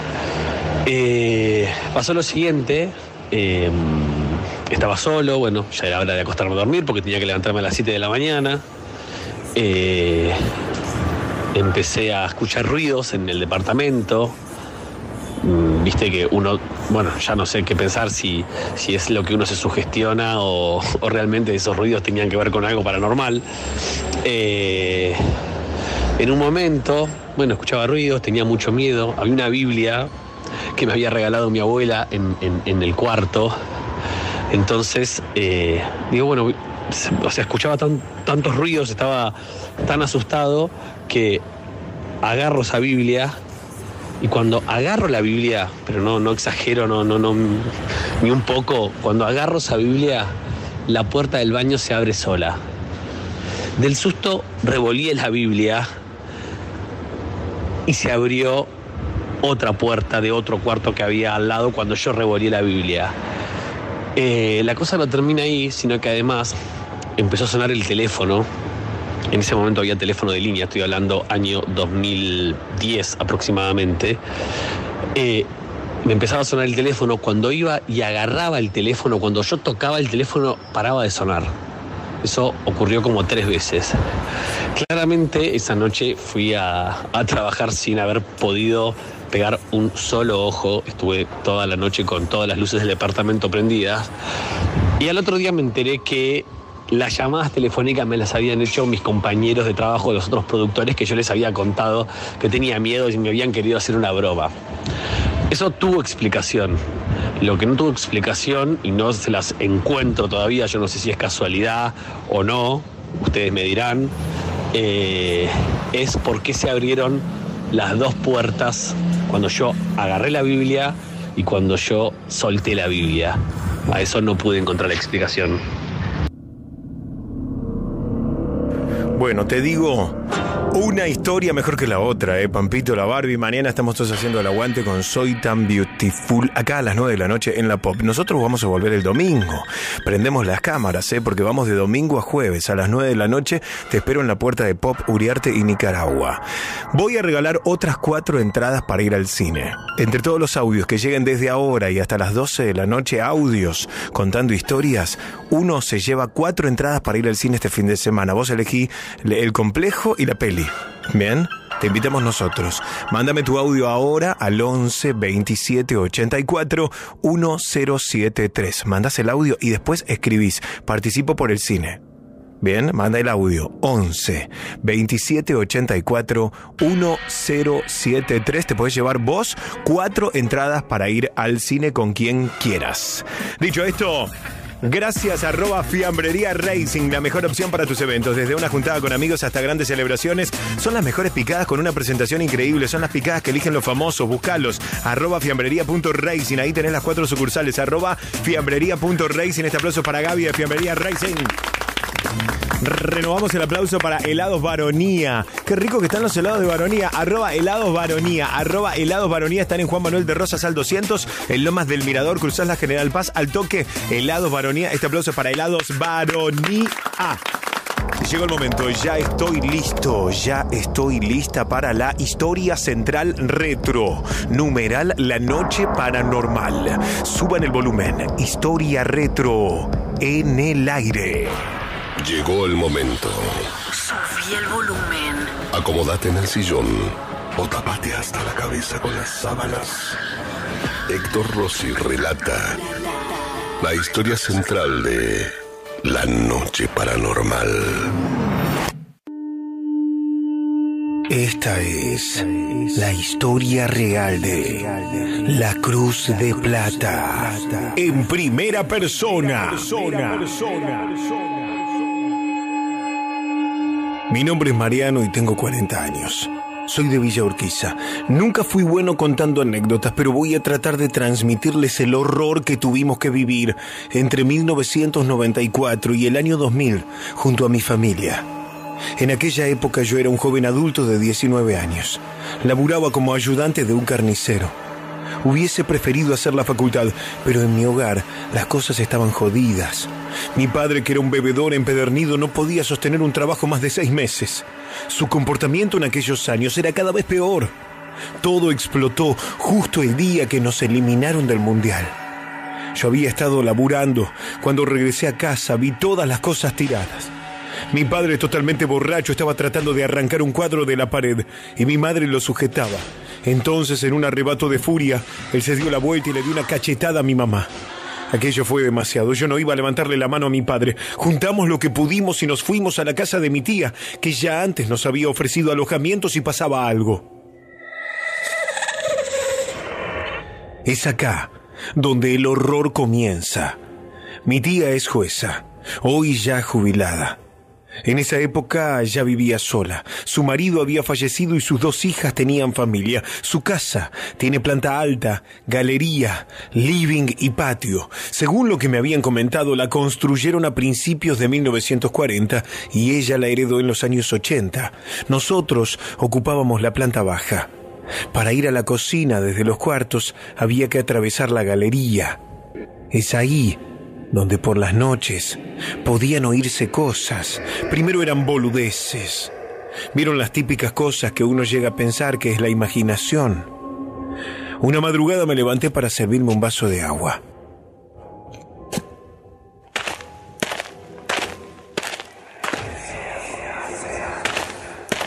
Antes de llegar escuché murmullos en la cocina, como si dos personas estuviesen manteniendo una conversación.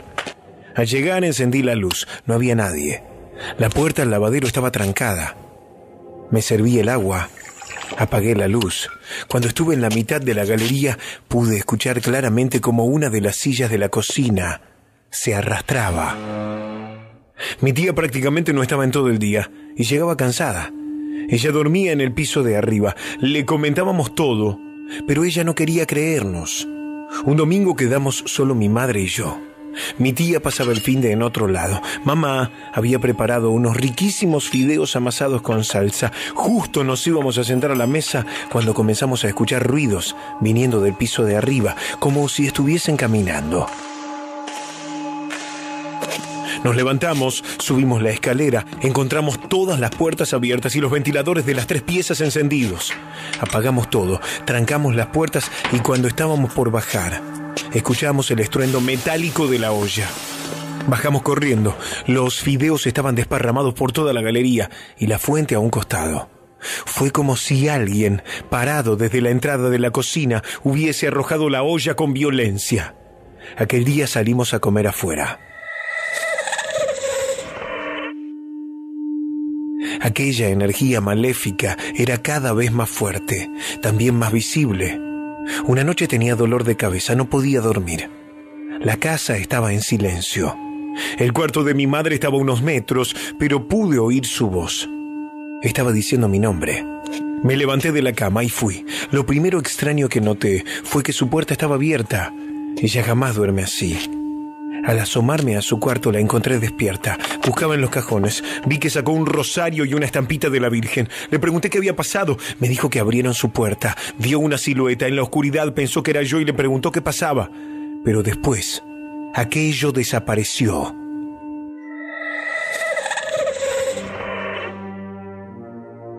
En el patio también sucedían actividades paranormales. Esta que voy a contar fue la primera vez que mi tía vio algo. Estábamos los tres, mamá, la tía y yo tomando mates en el patio. El cuarto de mi tía tiene un balcón que da al patio. Nosotros estábamos dando la espalda al mismo. Pasó todo muy rápido. Escuchamos que tosían. Al mismo tiempo nos dimos la vuelta y vimos a un viejo calvo que iba desde el balcón al interior del cuarto. Dejamos el mate, las masitas, subimos corriendo. Las ropas de cama de mi tía estaban en el suelo. Había un olor agrio en el aire. Después de aquello, nos quedamos hasta la noche mirando álbumes de antiguas fotos familiares. Queríamos ver si era algún pariente. En ninguna salía un anciano calvo. Poco después, nos despertaron los aterradores gritos de mi tía en medio de la noche. La encontramos en su cuarto, en posición fetal bajo las sábanas. Tenía ligeros arañazos en el rostro. Me dijo que se despertó sintiendo que algo la estaba atacando. Estaba muy alterada. Le tomamos la presión, la tenía alta, le dimos un medicamento, la mandamos a bañarse y luego a descansar. Esa noche nosotros dormimos arriba. Antes del amanecer pasó algo más, que en esa ocasión yo no quise contar para no poner peor a mi tía. Una mano helada me sujetó del tobillo y me estiró violentamente hasta arrojarme fuera de la cama. Aquel tacto no lo sentí como frío del congelador, era algo más. En mi adolescencia perdí a un amigo. En su funeral le di un beso en la frente. Era ese tipo de frío, el de la muerte. Fueron años de sopesar aquello. Una y otra vez hicimos bendecir la casa, pero nunca duró más de tres meses aquella bendición. Lamentablemente, la casa que teníamos estaba a nombre de mi padre y con los años nos enteramos que ese hogar terminó degenerando en un antro de delares y trabajadoras sexuales. No podíamos regresar. La peor noche de todas fue una que jamás voy a olvidar.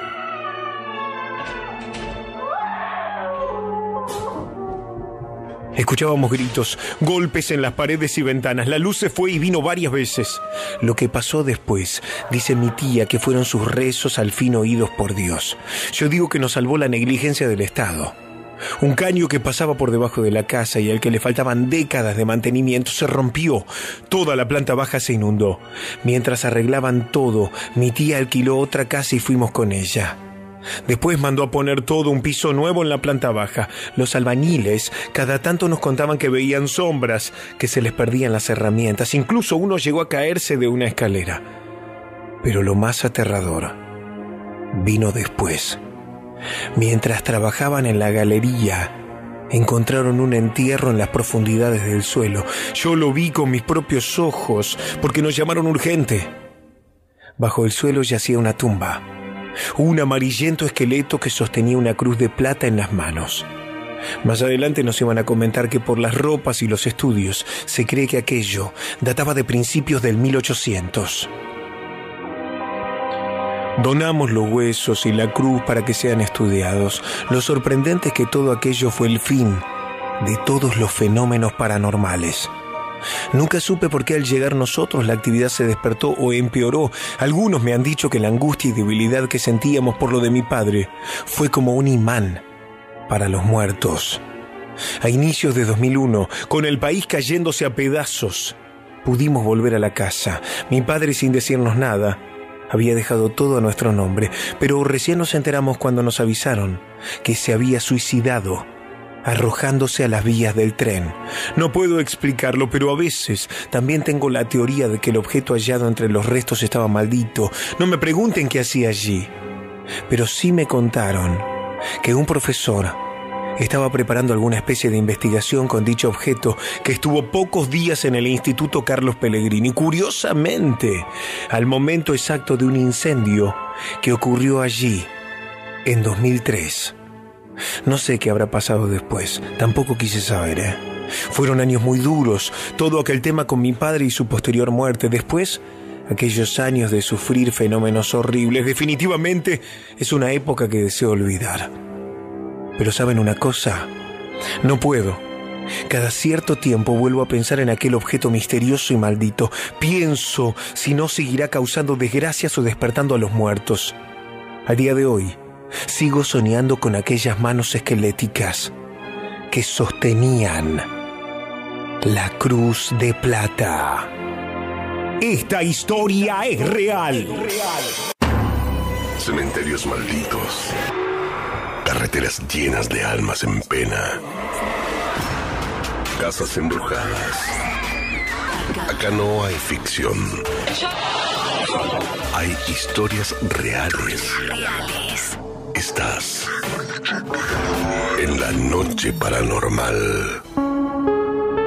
Hola Héctor, buenas noches, excelente el programa, me encantan las historias, te cuento algo rápido, hace unos cuantos años conocí a una mujer que tenía hijas, nos fuimos a vivir a una casa, ella, sus hijas y yo, y la alquilamos, alquilamos la casa, entonces después de un tiempo empezaron a aparecer cosas raras, no sé cómo decirte, ruidos, cosas raras. Una noche, claro, yo me fui a vivir con mi pareja, tenía dos hijas de un matrimonio anterior, bueno, una noche escucho ruidos, qué sé yo, no sé, 3, 4 de la mañana, muy de noche y me despierto. Nosotros teníamos la puerta del dormitorio con un pasador, con, con una traba para que no entren las nenas. Entonces veo que la, la manija de la puerta del picaporte se mueve como se mueve, baja y sube, como que alguien quisiera entrar. Bueno, ok. Entonces despierto a, a mi pareja de este momento y le digo, las nenas les pasa algo, quieren entrar, ¿qué les pasa? Ella dormía en el dormitorio enfrente nuestro. Bueno, se despierta mi pareja y, y me dice, Ariel, la, la, la, las nenas, ay Dios, me pone nervioso esto porque es terrible. Lo que me dice mi pareja en ese momento es lo siguiente, Ariel, las nenas están en la casa del papá. Wow, no había nadie más en casa. La casa tenía alarmas, llamé, llam- llamé a la policía y, y no, no, no, no había nadie adentro. O sea, la alarma no se activó tampoco. Fue una locura, porque mi, mi pareja vio me dijo, sí, alguien quiso entrar, pero en, hasta el día de hoy que ni ella ni yo sabemos lo que pasó. La manija se movía, se movía, hacía ruido la puerta, se escuchaban golpes, pero los dos al mismo tiempo lo vimos a medianoche. Si hubiera sido que yo solo lo vi, capaz hubiese pensado que fue un sueño, pero nos vimos los dos al mismo tiempo. Entonces algo hay más allá. Hola, buenas noches. Mi nombre es Cecil Silva. Hace 20 años que vivo en Argentina, nací en Uruguay. Bueno, yo crecí en el campo, es decir, en casas de campo. Soy el menor de 12 hermanos. Cuando tenía 9 años, mis hermanos hablaban de que por las noches, algunos días, o sea, no todas las noches, algunas veces se escuchaba un alarido horrible y no entendían de qué se trataba porque cada vez que escuchaban ese alarido, los perros se volvían locos, ladraban, aullaban, todo un escándalo. Bueno, una madrugada yo me despierto porque escucho que mi madre hablaba y escucho el alarido, espantoso. Claro, yo tenía nueve años, me re asusté. Dije, uy, bueno, me re, re asusté, horrible. Bueno, pasó, pasaron un par de meses. Yo tenía una compañera que se llama María Esther. Resulta que María Esther termina en el hospital internada. ¿Qué pasó? Salió con la madre de noche con un farol porque un lugar donde no hay luz era un barrio donde las casas estaban tipo como a tres, cuatro cuadras unas de otras, con mucho bosque, una cañada, un lugar lindo, pero bueno, muy, todo muy, muy separado. Ellas salieron a buscar la ropa con un farol y vieron en el patio una especie de perro, como lo describieron, muy, pero bastante grande, o sea, no era un perro porque el tamaño era más grande que un perro grande y no le veían, no le vieron la cabeza, o sea que para ellas el, este extraño ser no tenía cabeza o tenía una forma que no le veían si tenía o no. Tanto que ella se desmayó, estuvo internada tres días en el hospital sin poder hablar del terror que le causó esta extraña criatura. Hola Héctor, buenas noches, me llamo Javier, la radio está buenísima, estoy en ruta 9 y nos cruzamos recién a una mujer toda de blanco, paramos y no estaba más, igual que la historia central. Héctor, buenas noches, justo se me dio poner la radio. Hay muchas personas que no creen en esto, pero yo lo viví y lo vivo en carne propia. Tengo tres espíritus en mi casa. Hasta el día de hoy no me dejan tranquilo. Quiero ir a la iglesia y siempre pasa algo. Algunos piensan que es broma, pero yo los veo. Lo vivo en carne propia, de verdad. Aquí en el cementerio, a cinco cuadras, anda un alma en pena, vestida de blanco. A muchas personas se les apareció. Siempre después de la una de la madrugada, gritando en la puerta del cementerio. Yo fui una vez a ver si era verdad y pude verla. Me encantaría que vinieran a grabar ustedes. Vivo en Belén de Escobar, en el barrio del cementerio. Héctor, mi nombre es Lourdes, soy de Belgrano. Tengo una historia paranormal que pasó cuando era chica. Fue cuando falleció mi abuelo. Yo tenía más o menos 10 años. Estaba en la casa de mi papá. Mis padres estaban separados. Yo sentía algo adentro mío, algo raro, y quería irme a mi casa. Entonces mi papá me lleva a mi casa. Cuando llegamos no estaba mi mamá, ni mi abuela, y tampoco mi abuelo. Solo estaba mi hermano mayor. Entonces cuando entro, sentí ganas de dibujar. Me pongo a dibujar a mi abuelo, lo dibujo con alas entre nubes. A eso de los diez minutos llaman a mi hermano. Solo escucho a él que dice, es mentira, decime que es mentira. Sale de la pieza sin decirme nada, lo veo y me largo a llorar sin parar. Me dice, ¿por qué lloras? Yo no le contestaba. Entonces me dice, tenemos que ir a buscar a mamá. Salimos y nos encontramos a mis otros hermanos. Solo escuchaba que se decían entre ellos, ¿qué le pasa a Lourdes? ¿Le contaste algo? Todos llorando. Nadie me decía nada. Llegamos al hospital y me entero que había muerto mi abuelo. A eso de las 3 de la mañana, llegamos nuevamente a mi casa y al dormir escuchábamos cómo se movían las sillas y los vasos. Todavía su espíritu seguía ahí. Es muy loco. Jamás me lo voy a olvidar. Mi madre hasta el día de hoy me cuenta que mi abuelo pedía por mí. Sus últimas palabras fueron mi nombre. Ojalá me puedas leer, Héctor. Los escucho todas las noches. Y esta historia es real. Bueno, yo seguí viviendo en distintas casas de campo porque nos mudamos después de ese barrio, fuimos a otro lado y después a otro hasta grande, hasta que me vine a vivir a Argentina, siempre estuve en el campo y nunca, nunca volví a escuchar en ningún otro lugar ese alarido tan espantoso, ni tampoco nadie dijo nada de haber visto nada, solamente fue en ese lugar. Hace poco que después de la pandemia fui a Uruguay y mantengo comunicación con mis hermanos que viven allá, les pregunté y ellos se acuerdan. Ahora estuve hablando con mi hermana que vive en Carmelo, le pregunté y también se acuerda. Todos recuerdan ese episodio de, de este alarido espantoso que, que, nunca escuchamos en ningún otro lugar, solamente en ese lugar que, que se llama Cañada Paraguaya y es la casa donde vivíamos, está a un kilómetro más o menos de la cañada. Hola Héctor y Noche Paranormal, me llamo Julieta, la hija de Gustavo. Tengo 10 años. Te vengo a contar dos cosas que me pasaron en mi casa y en lo de mi abuela. La primera fue en mi casa, fue 2001 a la noche, por ahí una y media de la mañana. Estaba sola con mi mamá y mi perro llamado Mike. Estaba muy tranquila jugando con mis muñecas, una Barbie y un Ken. Tenían de nombre Brittany y el Ken Armando. De repente me dieron ganas de tirarme al piso, mirando hacia el techo. El techo de mi habitación tiene dos ventanas negras. Me quedé mirando fijamente y vi una silueta real, no era un animal. Tenía los ojos rojos y era negra. No sé cómo decirlo. Más oscura que la oscuridad.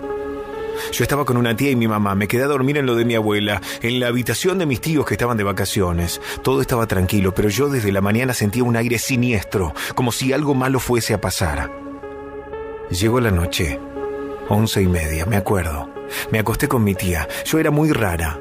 Cuando dormí hablaba sola y en ese caso no hice nada porque sentía una vibra extraña.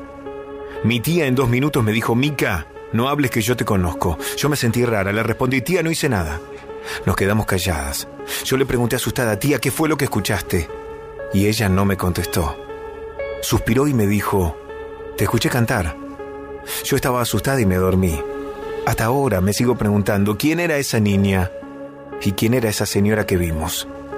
Desde ese día no puedo dormir tranquila. Hola, ¿qué tal? Buenas noches. Bueno, les cuento mi historia. Esto me pasó un día que me voy. Yo trabajo de, de seguridad y vigilancia y bueno, me pude juntar los francos. Tuve cinco francos, me fui a, a, visitar a un amigo en la costa. Él es de Pinamar, ahí de, de Ostende. Resulta que cuando yo me voy de acá, eh, me voy en la moto eh, a mitad de la ruta, a mitad del camino, parando por el carga de combustible, empezó a llover. Y bueno, cuando viajas en moto y, y te pasa eso, por las inclemencias del tiempo, uno no tiene otra alternativa más que seguir con el tema de, del viaje, porque por más que pares y, y esperes que pare la lluvia, aparte como tenía los días contados, no, no podía parar. Así que bueno, me, me dispuse a poner el piloto y continué. Resulta que lo que es la ruta, me acuerdo que esa ruta, no me acuerdo el número de la ruta, creo que era la 68, no me acuerdo bien, la 63 creo que era. Resulta que como la ruta la estaban repavimentando, había muchos conos y había un poco de bacha, o sea, había señalización, pero como la ruta es de noche, la ruta en realidad es de noche, de noche no se ve nada, es oscura, este, bueno, eh, iba reducido la velocidad, iba despacio, no iba muy fuerte porque más que nada la, la, tormenta venía de frente y la iluminación que tenía la moto era muy, muy poca y bueno, no veía mucho. Resulta que me pasa que en el trayecto,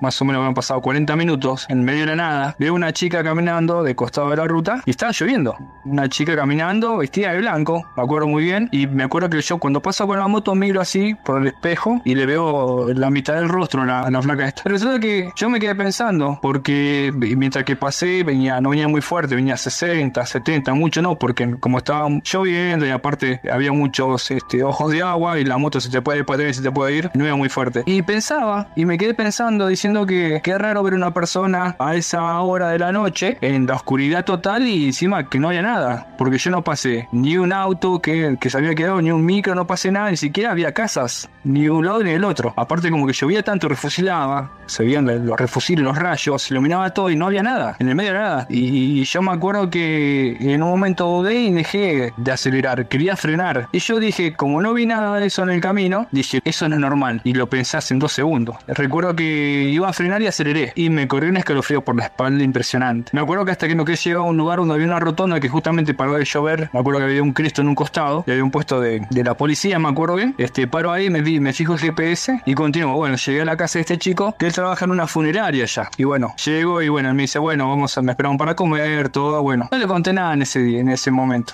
Al otro día le cuento lo que me pasó y él me dijo que no, era, que no soy el único que la vio. ¿Por qué? Porque él recuerda que fue, fue con, un, con un muchacho, fue a, a un lugar a buscar un cuerpo y venía con, con el cuerpo del difunto y el padre, venían hablando. Y como él venía hablando con el padre de la chica, cada vez que, que hablaban, él le decía, miraba para decía, no, gorda, que a nosotros a ir a viajar, que esto que el otro, y hablaba con este chico amigo mío. O sea, muy loco, ¿no? Entender eso. Qué sé yo, hay que ponerse un poco del otro lado, ¿no? Del dolor este padre que llevaba a su hija que había fallecido y demás. Bueno, y resulta que era un día que también era de noche, estaba lloviendo, que él me lo contó, y pasaron por el mismo lugar, la cercanía del lugar donde yo había pasado, y vieron a esta chica caminando ahí de blanco, y no había nada. O sea, que no había nada, no había ni coche, ni casa, ni nada, este, y la vieron a esta chica caminando por, por el costado de la ruta, vestida de blanco, y era un día de lluvia. Y ellos dos la vieron, y me acuerdo que él me contó que, bueno, dejaron de hablar hasta que llegaban a destino, y bueno, hicieron las cosas fúnebres a esta chiquita, o sea, la, hija de este, este señor, para que eh, pueda descansar en paz. Pero bueno, mi amigo me dijo que no, no fui el único que, que la vio. Así que yo viajo en moto, viajo en, en, en moto, viajo He viajado para todas partes. Conozco mucho el noroeste, he viajado por San Luis, Salta, Córdoba, he viajado también, Tucumán. Este, me dio mucha Federación de tengo una amiga allá, así que voy seguido. Pero yo desde ese momento, desde ese día, de lo que me pasó, yo de noche no viajo más. Y recomiendo no viajar de noche. Porque son cosas que pasan. A, mi hermano le ha pasado un montón de cosas, puede viajar mucho, él está viviendo en San Juan y viene mucho en moto para acá y ve cada cosa en la ruta, pero yo nunca le creí. Pero hasta que me pasó esto. Así que bueno, espero que le haya gustado. Buenas noches. No sé si vieron el live completo de María Eugenia la China, hay una parte en la que se escucharon pisadas. Luego me pregunté por qué un espíritu la persigue a ella. La tienen que llamar, tiene muchas historias paranormales para contar. Hablen con ella si pueden. Saludos, soy Jesús. Héctor, ¿cómo te va? Esta es mi historia. Fue en la casa de mi papá. Yo sentía una mala presencia. Cuando voy siempre pasan cosas extrañas. Ese mismo día se cayó un cuadro, pero no parece tanto miedo pero era el único cuadro que tenía mi papá de mí y justo se rompió mi cara. Días después, sabiendo lo que pasa en esa casa, ya no quería ir, pero solo fui una vez más. Se escucharon llantos, llantos de bebés. Soy Ámbar, mi historia es real. Héctor, soy Emanuel de Lanús. Quería consultar si alguien conoce el famoso baño pegado a la escalera. En la morgue judicial. Dicen que hasta el personal que limpia, los mismos jefes de limpieza, recomiendan limpiarlo rápidamente y abandonarlo. Se escuchan murmullos de niños del otro lado de la pared. Golpean la pared, como llamando, y hasta te llaman por tu nombre. Si no, si no es con tu nombre real, es con los apodos que solo tu familia conoce de vos. Gracias por el programa. Hola, buenas noches. Bueno, estoy escuchando el programa y bueno, me animé a, contar algo que, me pasó hace muchos años, el año 2008 aproximadamente. Yo trabajaba en una empresa de seguridad, se prestaba servicio a un sanatorio ahí de la zona de Avenida Corrientes, Callao, por ahí. Y bueno, sí, como en todo lugar de ese estilo, siempre pasaban cosas, escuchaban ruidos, escuchaban. A mí no me pasó, pero varios compañeros le han pasado de escuchar bebés llorando y una maternidad que hacía años que estaba cerrada. Bueno, pero la experiencia personal es otra. Un domingo en la mañana, no me olvido más, había, había poco personal, estaba el camillero, una de las secretarias de piso, que es la que recorren muy piso y bueno, el control lo que se estaba medicando a los pacientes y la chica de admisión estaba ahí en, la parte de adelante, éramos solo cuatro personas. Bueno, era mañana, era la hora de desayunar, bueno, fue el camillero, fundamos unos pesitos, le abro la puerta, yo era el único poseedor de la llave y le abro la puerta para que vaya hasta la panadería, bueno, otra chica calentó el agua, la otra chica venía bajando los pisos y nos íbamos a juntar a una hora, digamos, no sé, siete y media a, desayunar ahí en, admisión. Bueno, resulta que viene el chico este con los bizcochitos, le abro la puerta, cierro la puerta con llave. Como había dicho, era el único que tenía llave para abrir y cerrar más a esa hora. Después, si más tarde se abría, pues venía gente a visitar a los pacientes. Y bueno, baja la otra secretaria de piso, entra a la admisión, no sé, estaban diciendo, yo voy a tomar té, yo voy a tomar café, ya calenté el agua, bueno, entran todos, cierro la puerta y la chica de, la recepción, ¿no? Que estaba de cara a la puerta, como quien dice, me dice, mirá, le cerraste la, puerta al hombre en la cara. Yo decía, que hombre sí. Solían quedarse gente acompañante, ¿no? A, con algunos pacientes toda la noche, ¿no? Pero no, no se había escuchado el ascensor, por escalera no se podía bajar. Y bueno, le digo, un señor, sí, un señor que estaba ahí vestido del famoso traje negro. Y le digo, mira que no hay nadie. Sí, fíjate, solía bajar gente también para pedir la, la fichita para, para las teles, para poder ver la tele en, las habitaciones. Bueno, abrimos, fuimos a, recorrer ahí la recepción, la parte del, del gritter, la parte del archivo, para el lado de los baños, la puerta, como dije, estaba cerrada con llave, así que revisamos toda la planta baja y no había nadie. Para todo esto, la otra chica, bueno, con un ataque en medio de nervios porque había, lo había visto de cara, que yo había cerrado, estaba a espaldas mías, esta entidad, supongo. Y varias veces, bueno, en el primer piso funcionaba una morgue, en el segundo no recuerdo bien, y siempre que bajaban por el ascensor ese de, de personal, mucha gente de reojo lo, lo veía a, este hombre de traje negro en el piso de la morgue. Y bueno, había, había un poquito de miedo. Así que bueno, muy bueno el programa. Hoy por esas cosas de la vida soy camionero y bueno, si llega a pasar algo en la ruta que veo, les, voy a mandar un audio. Así que bueno, era eso y gracias. Damián el camionero. Y esta es una historia real, por supuesto. Buenas noches, Héctor y Mona. Les quería contar la experiencia paranormal de mi abuela. Ella es nacida en Acebal, Santa Fe. A la edad de tres años, mis bisabuelos viajaron a Buenos Aires en búsqueda de un futuro mejor. A la edad de 13 años, mi abuela viajó nuevamente a esta localidad de Acebal a pasar unos días con sus tías. Por las noches, sus tías sacaban las camas afuera porque sentían pasos arriba del techo, pasos de un hombre que falleció en esos tiempos arreglando el techo de la casa. Ella siempre recuerda este momento paranormal. Saludos para todos, la radio está genial. Contanos tu historia paranormal en vivo Llamando al 11 27 84 1073. Grabala en audio y envíala por WhatsApp al 11 27 84 1073. Hola Héctor Rossi, buenas noches, soy Daniel de Moreno. Hablando del barrio 25 en la plaza, las hamacas se hamacan solas por la noche. Héctor, soy Seba. Quisiera contar mi historia paranormal. Trabajo en un parque logístico donde en las noches en cada recorrida que hago, escucho ruidos en los contenedores, se prende una radio en uno de los galpones. Muchos dicen que es el espíritu de los operarios que murieron en el parque, cuando, cuando una de las contaminadas falló y dejó caer un contenedor. Perdieron la vida cuatro operarios. Se dice que sus almas quedaron en el parque cuidando a los demás. Muchas gracias, los escucho siempre. Soy Seba de Adrogué. ¿Cómo están? Soy Diego de Carlos Pegazzini. Le cuento que en el año 2011 más o menos, con mi pareja, habíamos ido a caminar al fondo de una avenida que se llama Avenida 25 de Mayo de Carlos Pegazzini. Era un día del Gauchito Gil. En ese momento yo era muy devoto del, santo y bueno, eh, el tema fue así. Fuimos a hacer un asadito, a tomar un vino al fondo, del fondo de la avenida, que es todo parte rural todo campo. Bueno, la cuestión que pasaron las horas, llegó como las 7 y media, 8 de la noche, un 8 de enero, hacía un poco de, frío, la verdad que no era un día de verano casi, estaba fresco esa noche y bueno, veníamos caminando y lo que sentíamos cuando veníamos caminando era ruido que, que alguien nos venía siguiendo caminando y empezamos a correr de la desesperación y bueno, la verdad nos llevamos un mal momento, pero en todo el momento fueron como seis cuadras oscuras y alguna parte había casas, son casas privadas de fines de semana y sentíamos que corría alguien atrás y se escuchaba el ruido a, pasos. Y la verdad fue un mal momento. Esa es una de mis experiencias que, que tengo para contar. Muy buena la radio y bueno, saludos a Eduardo que siempre escucha la radio, compañero mío de trabajo, de seguridad. Vamos a compartir la historia que contó Alejandro Fantino en Neura. Su historia paranormal, en realidad la historia paranormal de un amigo y una verdadera casa embrujada.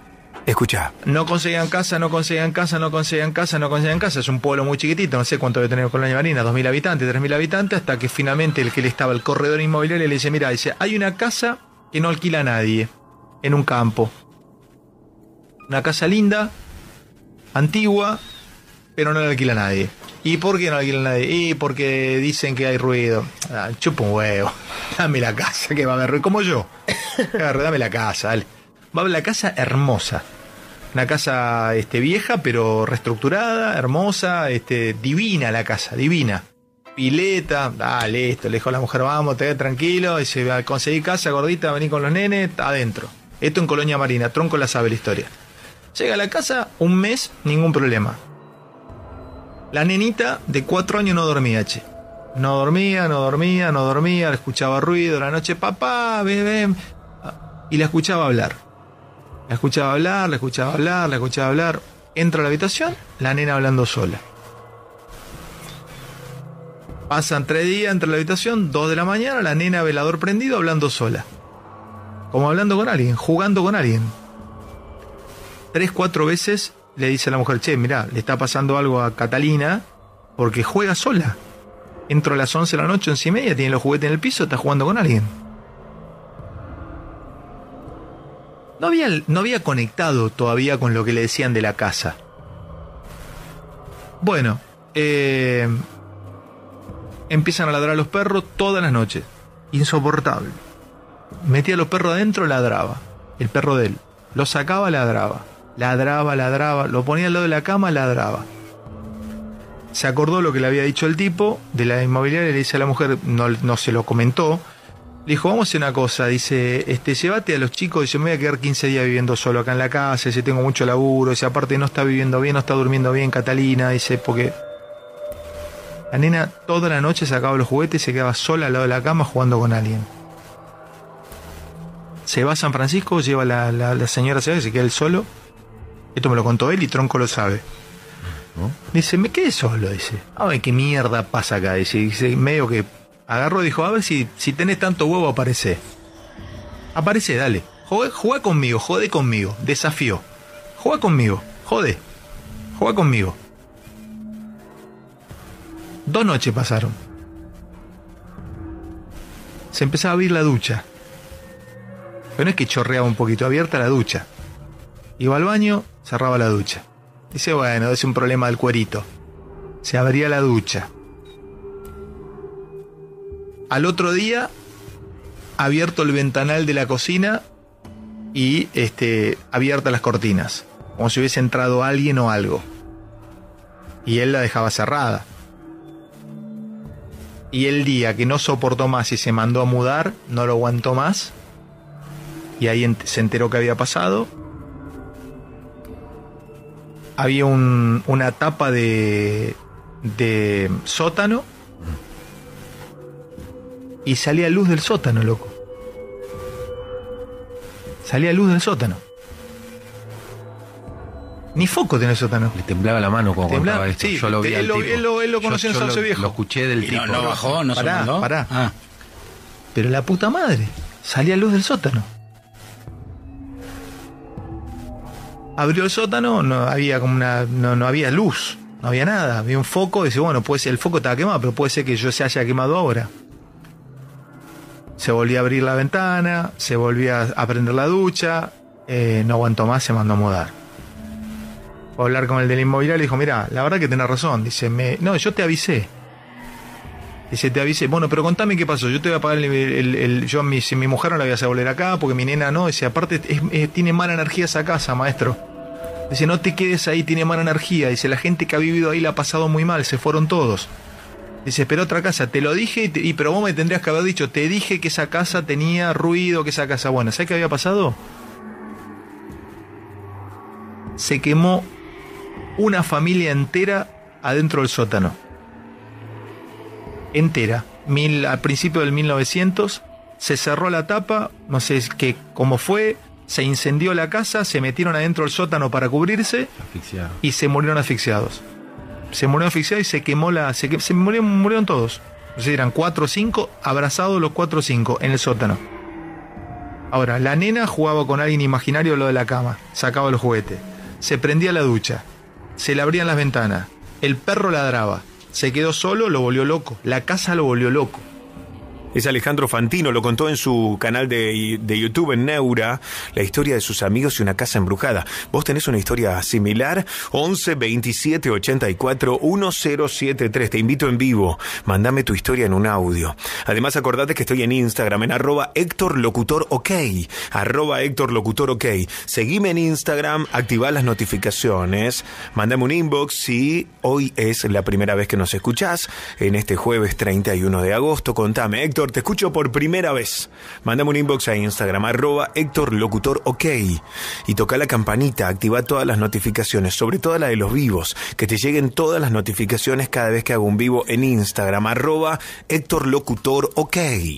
Hola Héctor, hola grupo de la noche paranormal. Mi historia es más o menos se monta en el año 2014. Yo estaba trabajando de ayudante de cocina en Florida y Paraguay, en un restaurante conocido, y estaba en el depósito, en la papelera en este caso, buscando unos, unas bolsitas que eran para hacer entregas de mercadería. Y estaba buscando, estaba solo en ese momento, estaba buscando y de la nada atrás mío escucho que alguien me dice hola. Me doy vuelta pensando que era algún compañero de la cocina y miro para los dos lados y no había nadie. En ese momento me agarró un frío en la espalda, que fue inexplicable y salí corriendo del depósito muy asustado y fui le conté a mi compañero y se rieron. Me dijeron de que ahí abajo había muerto un pastelero hace más de 20 años, había fallecido ahí abajo y tenía ahí en el depósito la campera con la que él había muerto, que era una campera abrigada que es para entrar en las cámaras de frío. Bueno, la radio está muy buena, esa es mi historia. Después nunca más me pasó nada. Espero que no me pase más. La radio está muy buena, chao. Brian, saludos. Este programa y todos los episodios de La Noche Paranormal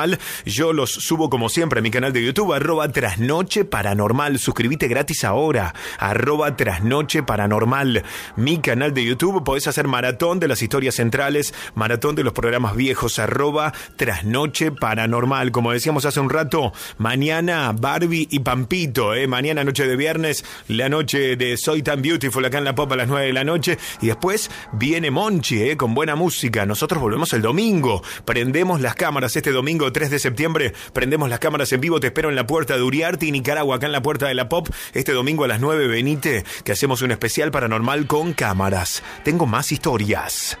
Hola, ¿qué tal? Soy de Formosa, bueno, yo tengo cuarenta y tantos, esto me ocurrió cuando yo tenía 20 más o menos. Fuimos a una tipo feria, una expo en el vecino país Paraguay, era un lugar abierto y al fondo había unos árboles de 20, 25 metros de día. Bueno, estábamos entre grupos de amigos comiendo choripán al aire libre, bueno, y veo que del árbol veo salir una esfera, una esfera color anaranjada, como una pelota de básquet. Yo lo miro, bueno, ahí pienso que era un globito aerostático, pensé que era un pedazo de bolsa pegado a que se incrustó por, por, el, por el árbol, qué sé yo, un barrilete, no sé, no le di pelota. Bueno, miro que está ahí, bueno, doy vuelta la cara. Y veo que también, cuando yo doy vuelta la cara para otro lado, veo que esa cosa se mete hacia el árbol, no, atrás del árbol. Bueno, por esa situación de la vida vuelvo a mirar, pero por casualidad hacia ese lugar y vuelve a aparecer. Es como que se aparecía cuando yo aparecía mirándolo hacia el árbol, ¿no? Flotando por, obviamente a 20, a 25 metros. Entonces como que me estaba espiando y cuando yo daba vuelta la cara para no ver el árbol, cuando volví a salir, seguía estando. O sea, me explico. Cuando yo daba vuelta la cara para no mirar el árbol, se metía, se metía hacia el árbol. Y cuando yo salía, cuando otra vez miraba hacia el árbol, salía la cosa esa y me observaba. Primero pensé que no me observaba, pero después este, daba vuelta de la cara. Cuando volví a mirar, o sea, se, se metía y salía según como yo mirara o no hacia ese árbol. Y estaba flotando ahí y después este, como que empezaba a tomar una forma como achatada, así, como una esfera achatada. Y era sensible a mi reacción. Cuando mi cuello doblaba para la izquierda, se, iba para la izquierda. Cuando yo doblaba para la derecha, para la derecha. Y cuando dejaba de mirar, se metía para el árbol. Y cuando yo volvía a mirar para el árbol, salía hacia afuera. O sea, como que estaba conectado a mí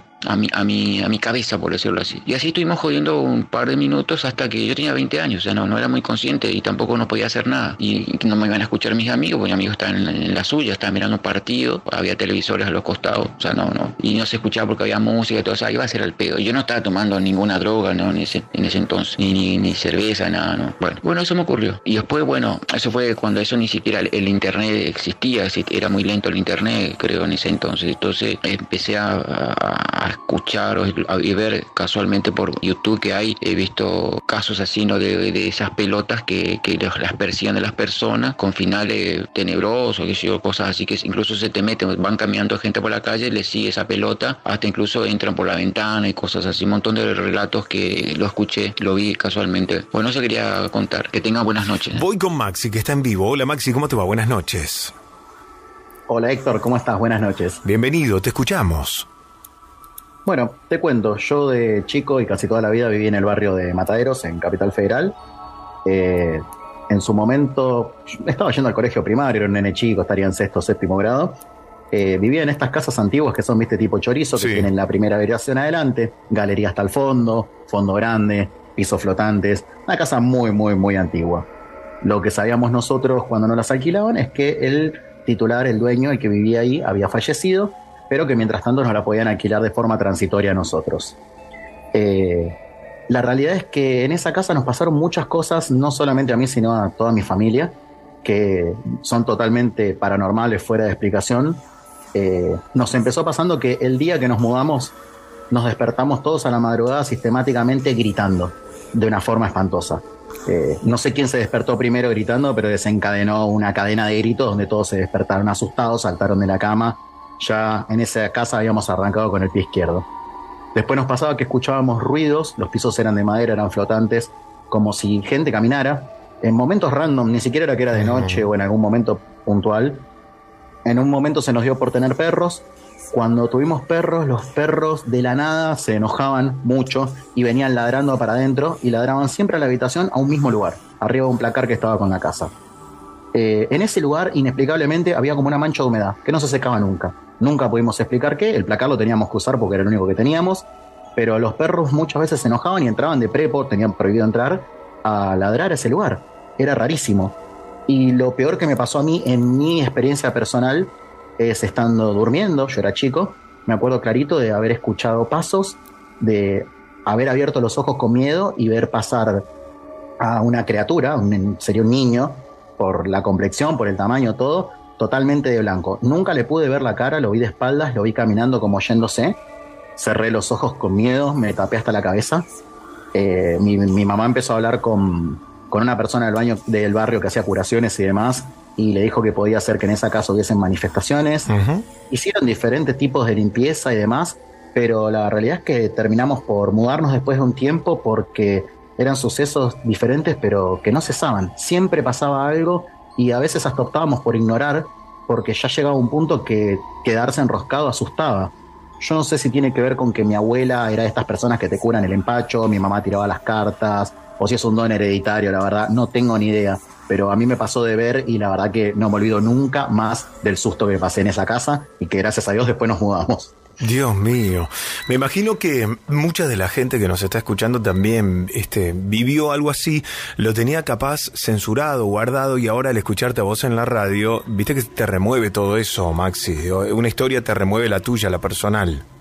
No, sí, totalmente. Aparte es algo que, que, te queda marcado para siempre. Pasa que no lo podés hablar con todo el mundo porque a veces por ahí te tildan de loco o algo, pero a nosotros nos pasó, te diría que en conjunto a toda la familia, cada uno tuvo experiencias horribles en esa casa y nunca supimos de fuente si tenía que ver con el dueño que había fallecido o con qué había pasado puntualmente en ese lugar, pero siempre pasaban cosas que nos terminaban asustando. Nos tuvimos que terminar mudando porque era imposible convivir ahí.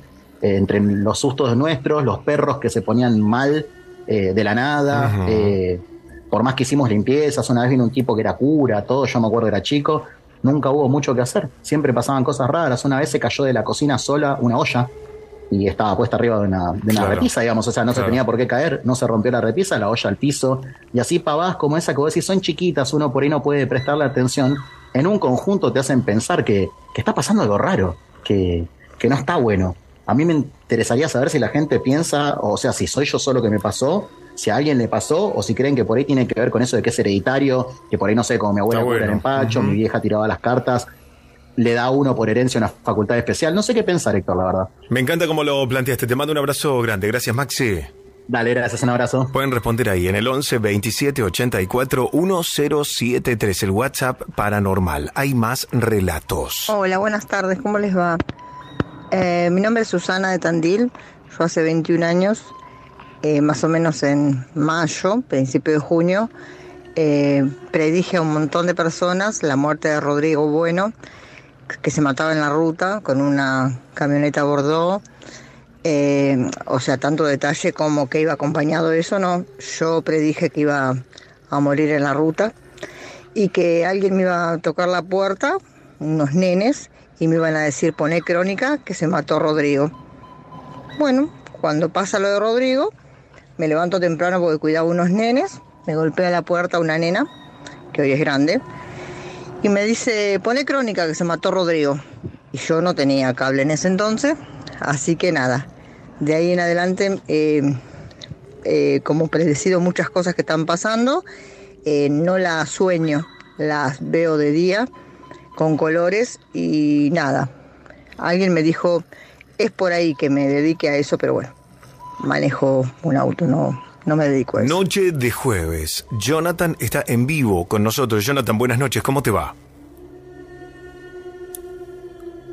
Jonathan, ¿estás ahí? Hola, hola, hola, Héctor. Buenas noches. Ahora te escucho. Bienvenido, te escuchamos. ¿Qué tal? ¿Cómo le va? Escuchamos tu historia. Sí, buenas noches. Mira, en lo que va de este año, cada noche mm, me ha pasado dos o tres veces hasta ahora y me parece extraño. Antes de dormir me acuesto, así, día normal, semana normal, me acuesto, por un día laboral y empiezo a escuchar voces, charlas, diálogos. No sé de quién, voces que no conozco, diálogos que no, no entiendo de qué se trata. Y en ese momento puedo visualizar qué, qué personas son o quiénes son, pero no sé por qué me pasa a mí.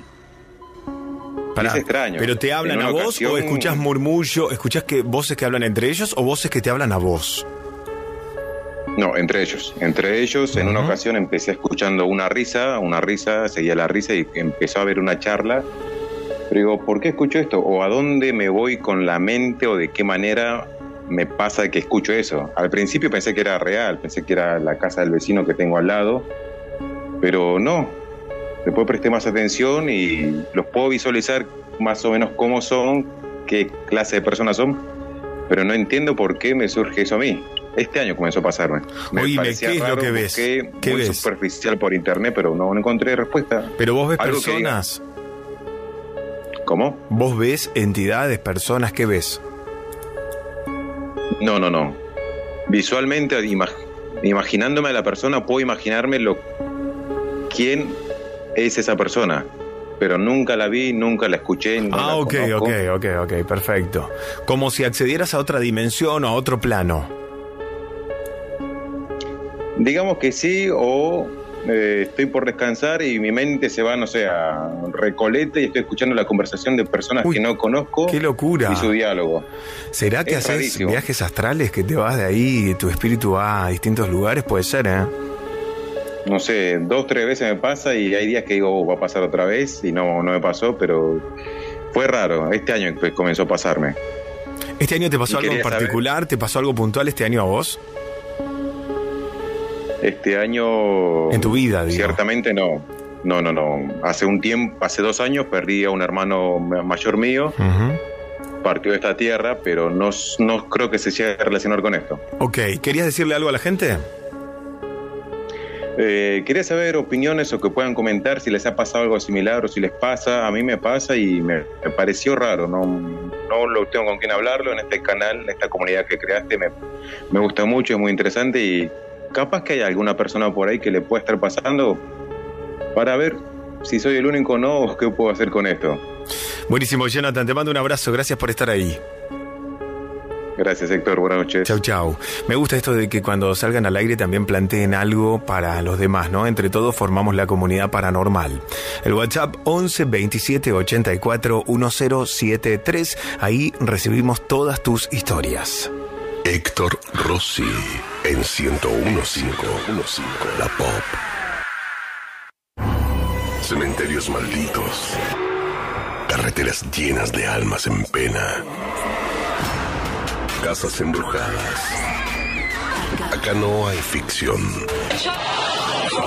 Hay historias reales. Estás en la noche paranormal. Pablo está en vivo. Hola Pablo, buenas noches, ¿cómo te va? Hola Héctor, ¿cómo estás? ¿Qué Bien. decís? Bienvenido, te escuchamos. Bueno, mira, esto me pasó cuando yo era chico a principios de los ochentas. Fui con mi madre y con mi hermana a un circo bastante modesto. Y a la salida había una atracción más, aparte, que la gente la comentaba como buena. En una carpa pequeña, menor, eh, la promesa de que un hombre podría transformarse en gorila. Eh, había un cartel pintado a mano donde se habían dibujado el rostro de un hombre rubio, al lado ese hombre con rasgos animales, con la cara cubierta de vello, y finalmente a la derecha la tercera imagen era de un gorila, literal. Pagamos la entrada, eh, piso de tierra, todo muy precario, un telón improvisado. La gente iba llegando, hubo mucho tiempo de espera, 10 minutos, para un niño es mucho.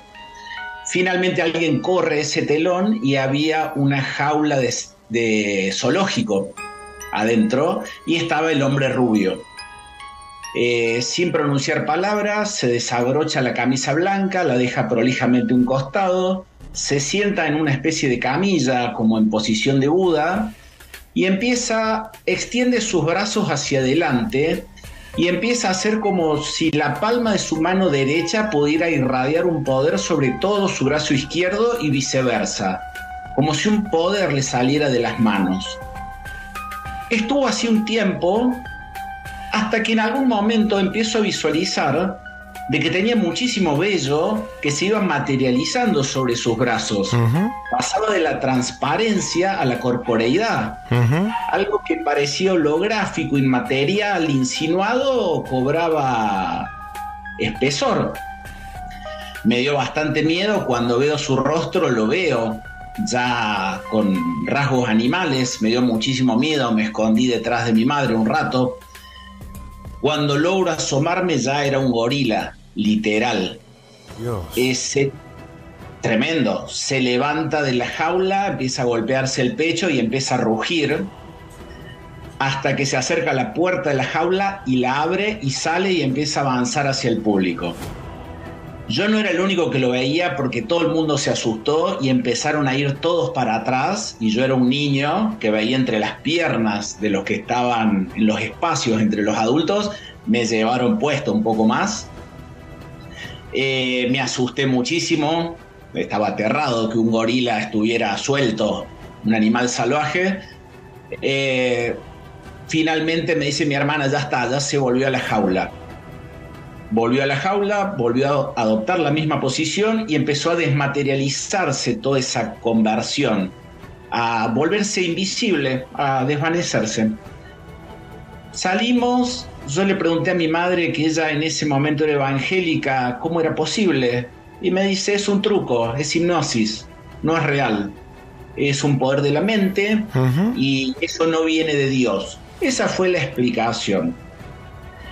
Había un amigo de mi padre que yo le comenté siendo un niño yo, eh, y me decía que había un ilusionista que hacía eso en los teatros y podía hacer hipnotizar a toda una audiencia entera y hacer ver que una ola del mar entre y los moje a todos y sentían el frío. Bueno, pasaron los años, nunca encontré en internet ningún caso de nadie que se gane la vida haciendo eso, nunca encontré registro de un testimonio de eso.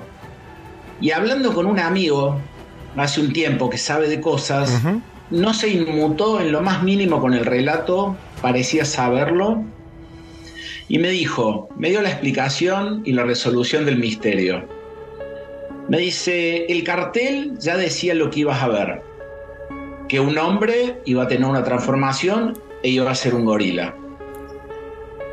Cuando se paga dinero se suscribe un contrato. Me dice, te apuesto que había música. Sí. Me dice, esa música tenía mensajes subsónicos, subliminales, que lo escucha la mente, pero no lo escuchan las personas.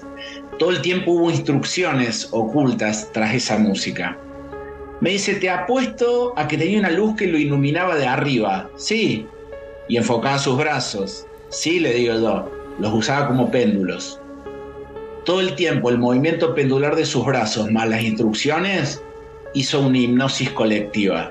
Yo le quisiera preguntar a la gente de la audiencia si alguien recuerda a principios de los ochentas, si alguien recuerda algo parecido, si alguien oyó, porque o estoy loco, pero lo vimos todos.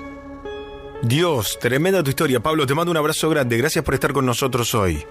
Gracias, querido. Un abrazo. Chau. Me hizo acordar a una historia central que se llama Circo Zombie, que si bien estaba ambientada en 1930, creo, también tenía que ver con un circo de fenómenos muy paranormales, de gente que decían que supuestamente le pegaban tiros, le disparaban con un revólver y no morían por eso lo de circo zombie. Me hizo acordar, pero si alguien vivió algo parecido, por favor, no solamente en Argentina, ¿eh? donde estén escuchando el programa 11 27 84 1073, recibo sus WhatsApp 11 27 84 1073. Hace muy, muy poquito estábamos paseando también con mi esposo y mi hija por un lugar turístico acá de Tandil y le dije, anda despacito, anda despacito porque hay un nene tirado y la mamá llora y está la ambulancia, anda despacito, como que nos iba a pasar algo con una criatura. Y es un lugar turístico con mucha, mucha gente. Todo el mundo cuando yo cuento algo así me mira como loca cuando predigo algo así. Llegué a mi casa, me puse con el teléfono y Facebook y en el mismo, mismo, mismo lugar que yo le dije eso a mi esposo y a mi hija, se había caído un nene de 5 años de un juego, había quedado trabado, se cayó al piso, bueno, obviamente la madre lloraba y había ido una ambulancia, pero es muy feo lo que me pasa, es muy feo porque no puedo solucionar nada.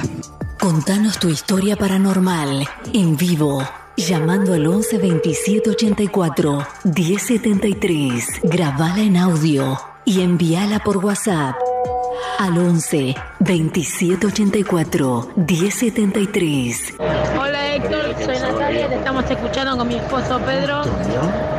Eh, yo le quería preguntar a Antonio eh, qué posibilidad hay de que un espíritu eh, tome el cuerpo de una persona, como ya sabemos que, bueno, en mi punto de, experiencia, sé que, que toman, sé que muchas personas se poseen, por espíritus. Quiero saber cómo podemos darnos cuenta de que el espíritu que está poseyendo esa como se diga, a esa persona es un espíritu que quiere darnos un mensaje o quizás eh, eh, quiera hacernos daño, ¿no? Pregunto por una historia muy particular en que me pasó a mí y quería eh, hacer esa, esa pregunta. ¿Cómo andás Héctor? Buenas noches. Bueno, te comento una historia de hace un par de años. Eh, tuve la posibilidad de viajar a, Perú en dos oportunidades. Por, en, bueno, he viajado muchas veces, pero en auto viajé dos veces.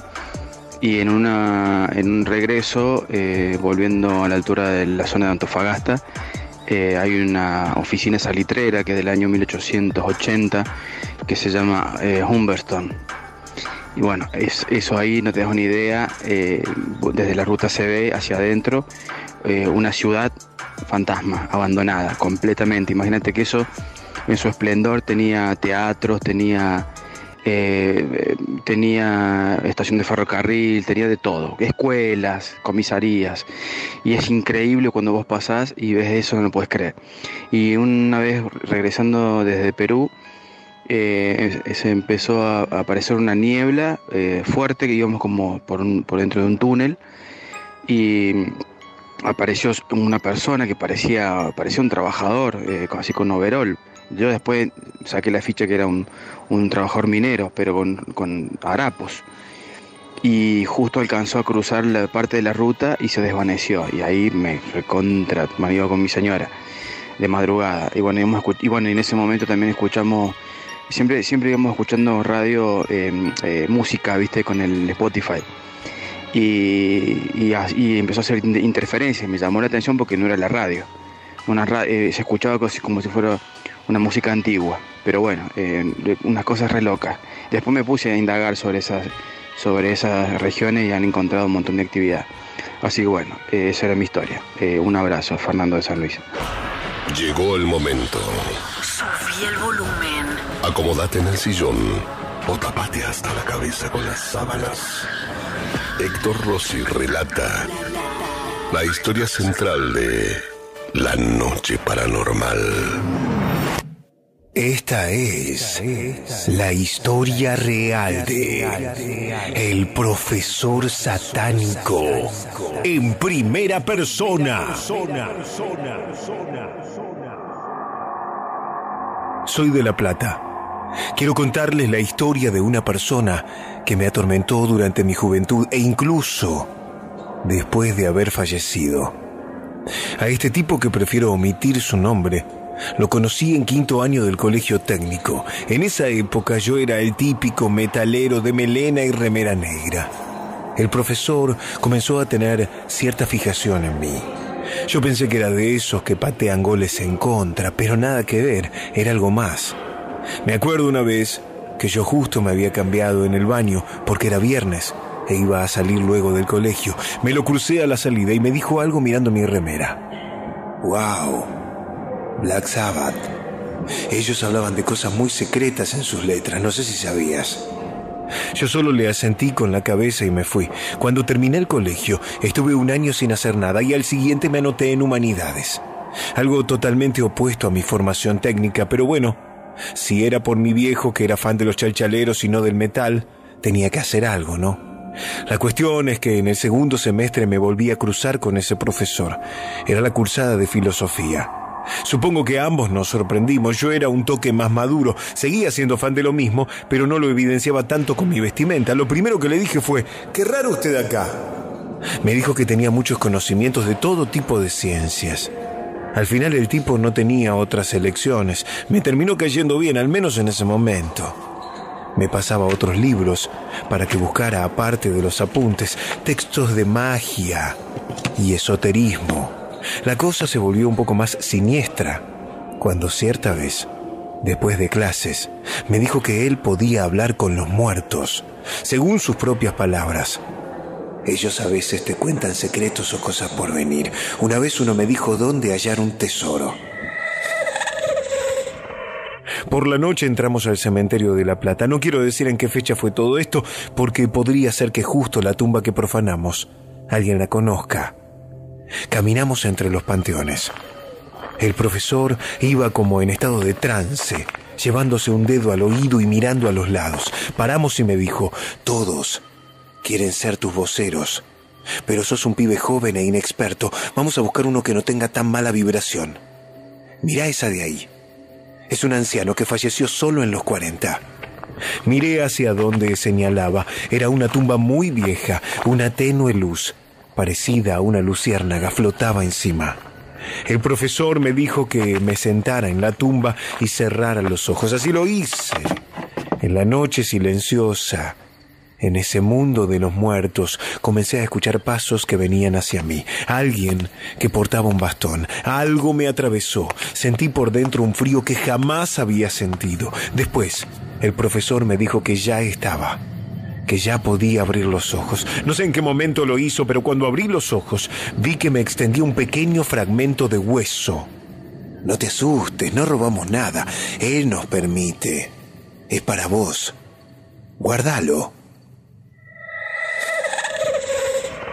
Habrán sido dos semanas después. Yo estaba durmiendo. Me desperté al abrirse la puerta de mi cuarto. Estaba todo oscuro. Pero escuché de nuevo los pasos y el bastón. Una voz decrépita me dijo, no es una úlcera lo que le han dicho que se haga ver en profundidad. En el desayuno escuché a mi padre quejarse de que los medicamentos para el estómago no servían. Recordando la advertencia, le dije que consultara a otro especialista. Me hizo caso. Fue así que le detectaron un minúsculo tumor en el estómago. Dejarlo crecer hubiese sido fatal pero al poco tiempo iba a aprender la lección de que la energía de los muertos solo provoca eso mismo. Una noche yo volvía de la facultad, por el camino me apuró un ladrón, me puso contra una pared y me arrimó un cuchillo al cuello. Estaba muy sacado, me decía que le diera todo, me tajeaba como fiambre. La calle estaba vacía. En eso oímos un silbido a pocos metros. Había un anciano de bastón. Era calvo, medio petizo y regordete. El chorro me sacó el cuchillo del cuello y le gritó al viejo, Abuelo, vaya a su casa, no quiero lastimarlo. Pero el viejito siguió acercándose en silencio. El delincuente fue contra él. Yo salí a correr hasta llegar a la avenida y tomar un taxi hacia mi casa. Al día siguiente me puse a buscar en las noticias si no salía algo sobre un viejo apuñalado. Encontré algo mucho peor. Delincuentes se atrincheran una vivienda con trágico desenlace. Los vecinos comentaron que ingresó fuera de sí, gritando que lo perseguía un muerto.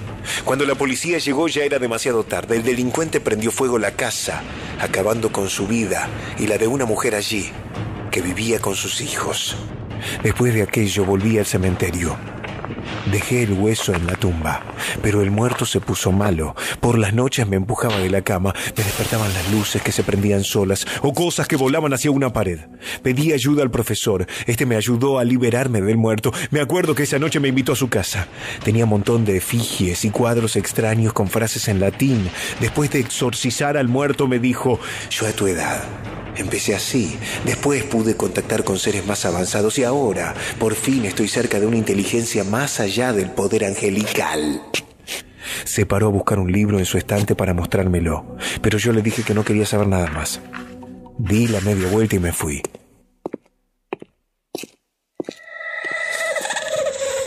El semestre había terminado, eran vacaciones, yo había promocionado, así que no supe nada de él por un mes. Hasta que me llegó la noticia el mes más tarde. Había fallecido de un ataque al corazón. La señora que limpiaba su casa lo había encontrado desvanecido y desnudo en la sala, rodeado por un círculo de libros cerrados y velas apagadas. Pensé que eso terminaba con todo, pero estaba equivocado. Cada tanto oía la voz del profesor. Me explico. Sonaba como viniendo del otro lado de una pared, pero no necesariamente yo debía estar en un espacio físico. Una vez estaba en un parque y lo escuché. No pierdas la oportunidad. Anota este nombre, búscalo. No quiero repetir ese nombre que hasta hoy no me olvido, pero hablaba de seres cuánticos o algo por el estilo. Con el tiempo, me terminé acostumbrando y cuando formé mi familia, dejé de enfocarme en eso y no volvió a molestar, al menos hasta que mi hijo tuvo cuatro años. Una tarde fui a su cuarto y me aterré al ver que dibujaba un monigote con alas y símbolos raros. Le pregunté qué era eso. Lo abracé y lloré cuando me dijo, el profesor que vive en el espejo dijo que es nuestro angelito. Dijo que me va a enseñar a escribir para poner su nombre. No me importa si no me creen o piensan que soy un mentiroso. Aquel ser diabólico casi se lleva a mi hijo.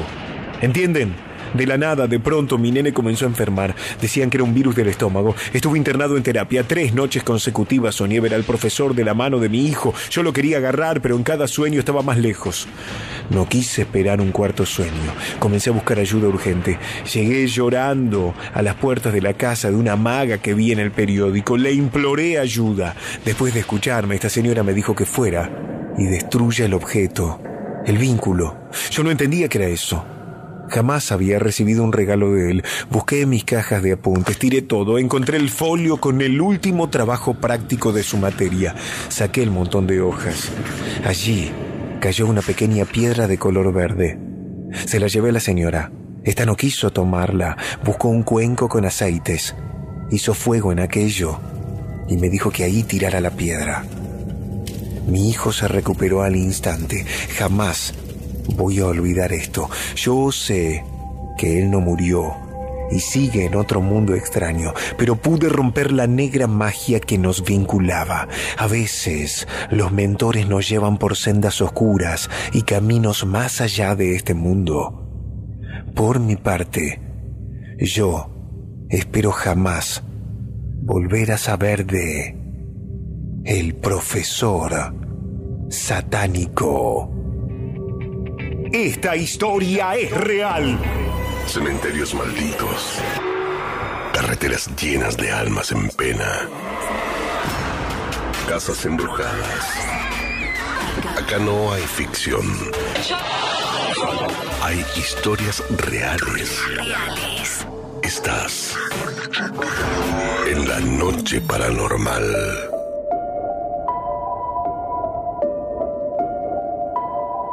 Buenas noches Héctor, ¿cómo le va? Quería aclarar algo. Eh, primero y principal, Los Ángeles no tienen ala. A Los Ángeles lo habían dibujado anteriormente, lo, dibujaban, ¿viste? no se escribía. Y cómo expresaban que tenía ala, que volaban porque dibujaban que tenía ala, pero realmente Los Ángeles no tienen ala. Y otra cosa, el diablo o el demonio, Lucifer. Lucifer no, no tiene cuerno, tampoco es eh, es mitad caballo ni nada por el estilo. Eh, Lucifer es el ángel de la luz. Lucifer es el ángel más lindo del cielo. O sea que es, es un ángel, es una criatura con ojos claros, rubio, hermoso, hermoso, hermosa criatura. Es Lucifer, es la criatura más hermosa del cielo. Es el ángel de la luz. Hola, mi nombre es Daniela. Les cuento que cuando yo tenía más o menos 8 o 9 años, la casa de mi mamá tiene un pasillo y en aquel momento, cuando hacía mucho, mucho calor, no había nadie, nadie en la calle. Y como a mí no me gustaba dormir la siesta, entonces salí a la vereda no había nadie y de repente veo que venía un hombre con sombrero y una capa negra y todo vestido de negro. Y entonces me dio miedo, me metí rápido corriendo, cerré la puerta, me metí rápido y fui, me, me acosté al lado de mi mamá. Y ese hombre entró, eh, llegó hasta la habitación, miró parado ahí en la puerta yo apenas abría el ojo para verlo y mm, después se dio la media vuelta y se fue. Nunca más, o sea, nunca supimos y cuando le conté a mi mamá, o sea, quedó tan asombrada como yo. Hola, ¿qué tal? Buenas noches, Héctor. Recién, recién acabo de escuchar en, el fondo, cuando estabas hablando con la chica esta que no me acuerdo el nombre, que está el tema de los cines, tres golpes. Tres golpes que se escucharon de fondo cuando le estabas preguntando, le estabas diciendo el tema de la que se escuchaba una risa de fondo. 10 2202. Contanos tu historia paranormal en vivo. Llamando al 11 27 84 1073. Grabala en audio y envíala por WhatsApp al 11 27 84 1073. Héctor Rossi en 1015 La Pop. La radio no se hace responsable de lo que suceda. Desde este momento todo, hasta la medianoche. Pasar cosas paranormales. Pasar cosas paranormales. Pasar cosas paranormales. Y empiezan a pasar cosas anormales. Ahora empieza el microprograma que te deja maquinando. Hasta su próxima edición. Diego de José de Paz de vuelta. No, no, es un tarado, que lo deje. Tiene un cuarto de juguete tipo grande. No, no, que lo deje porque es un tarado. ¿Cómo va a tener un cuarto de juguete? No, no, no. Que lo tenga, pero que no se lo muestre. Hola chicos, Héctor tiene razón. Es una mina complicada. Si la pasó bien en el sexo, en la charla y qué sé yo, ¿qué le importa? Encima es verdad lo que dice Héctor. Le está abriendo su corazón, loco. Le está mostrando una parte importante de su vida. Así que yo creo que tendría que darse más tiempo para, para conocerlo más y qué sé yo, antes que prejuzgarlo por eso. Y lo digo yo que soy mina, eh. Nada, saludos para todos chicos.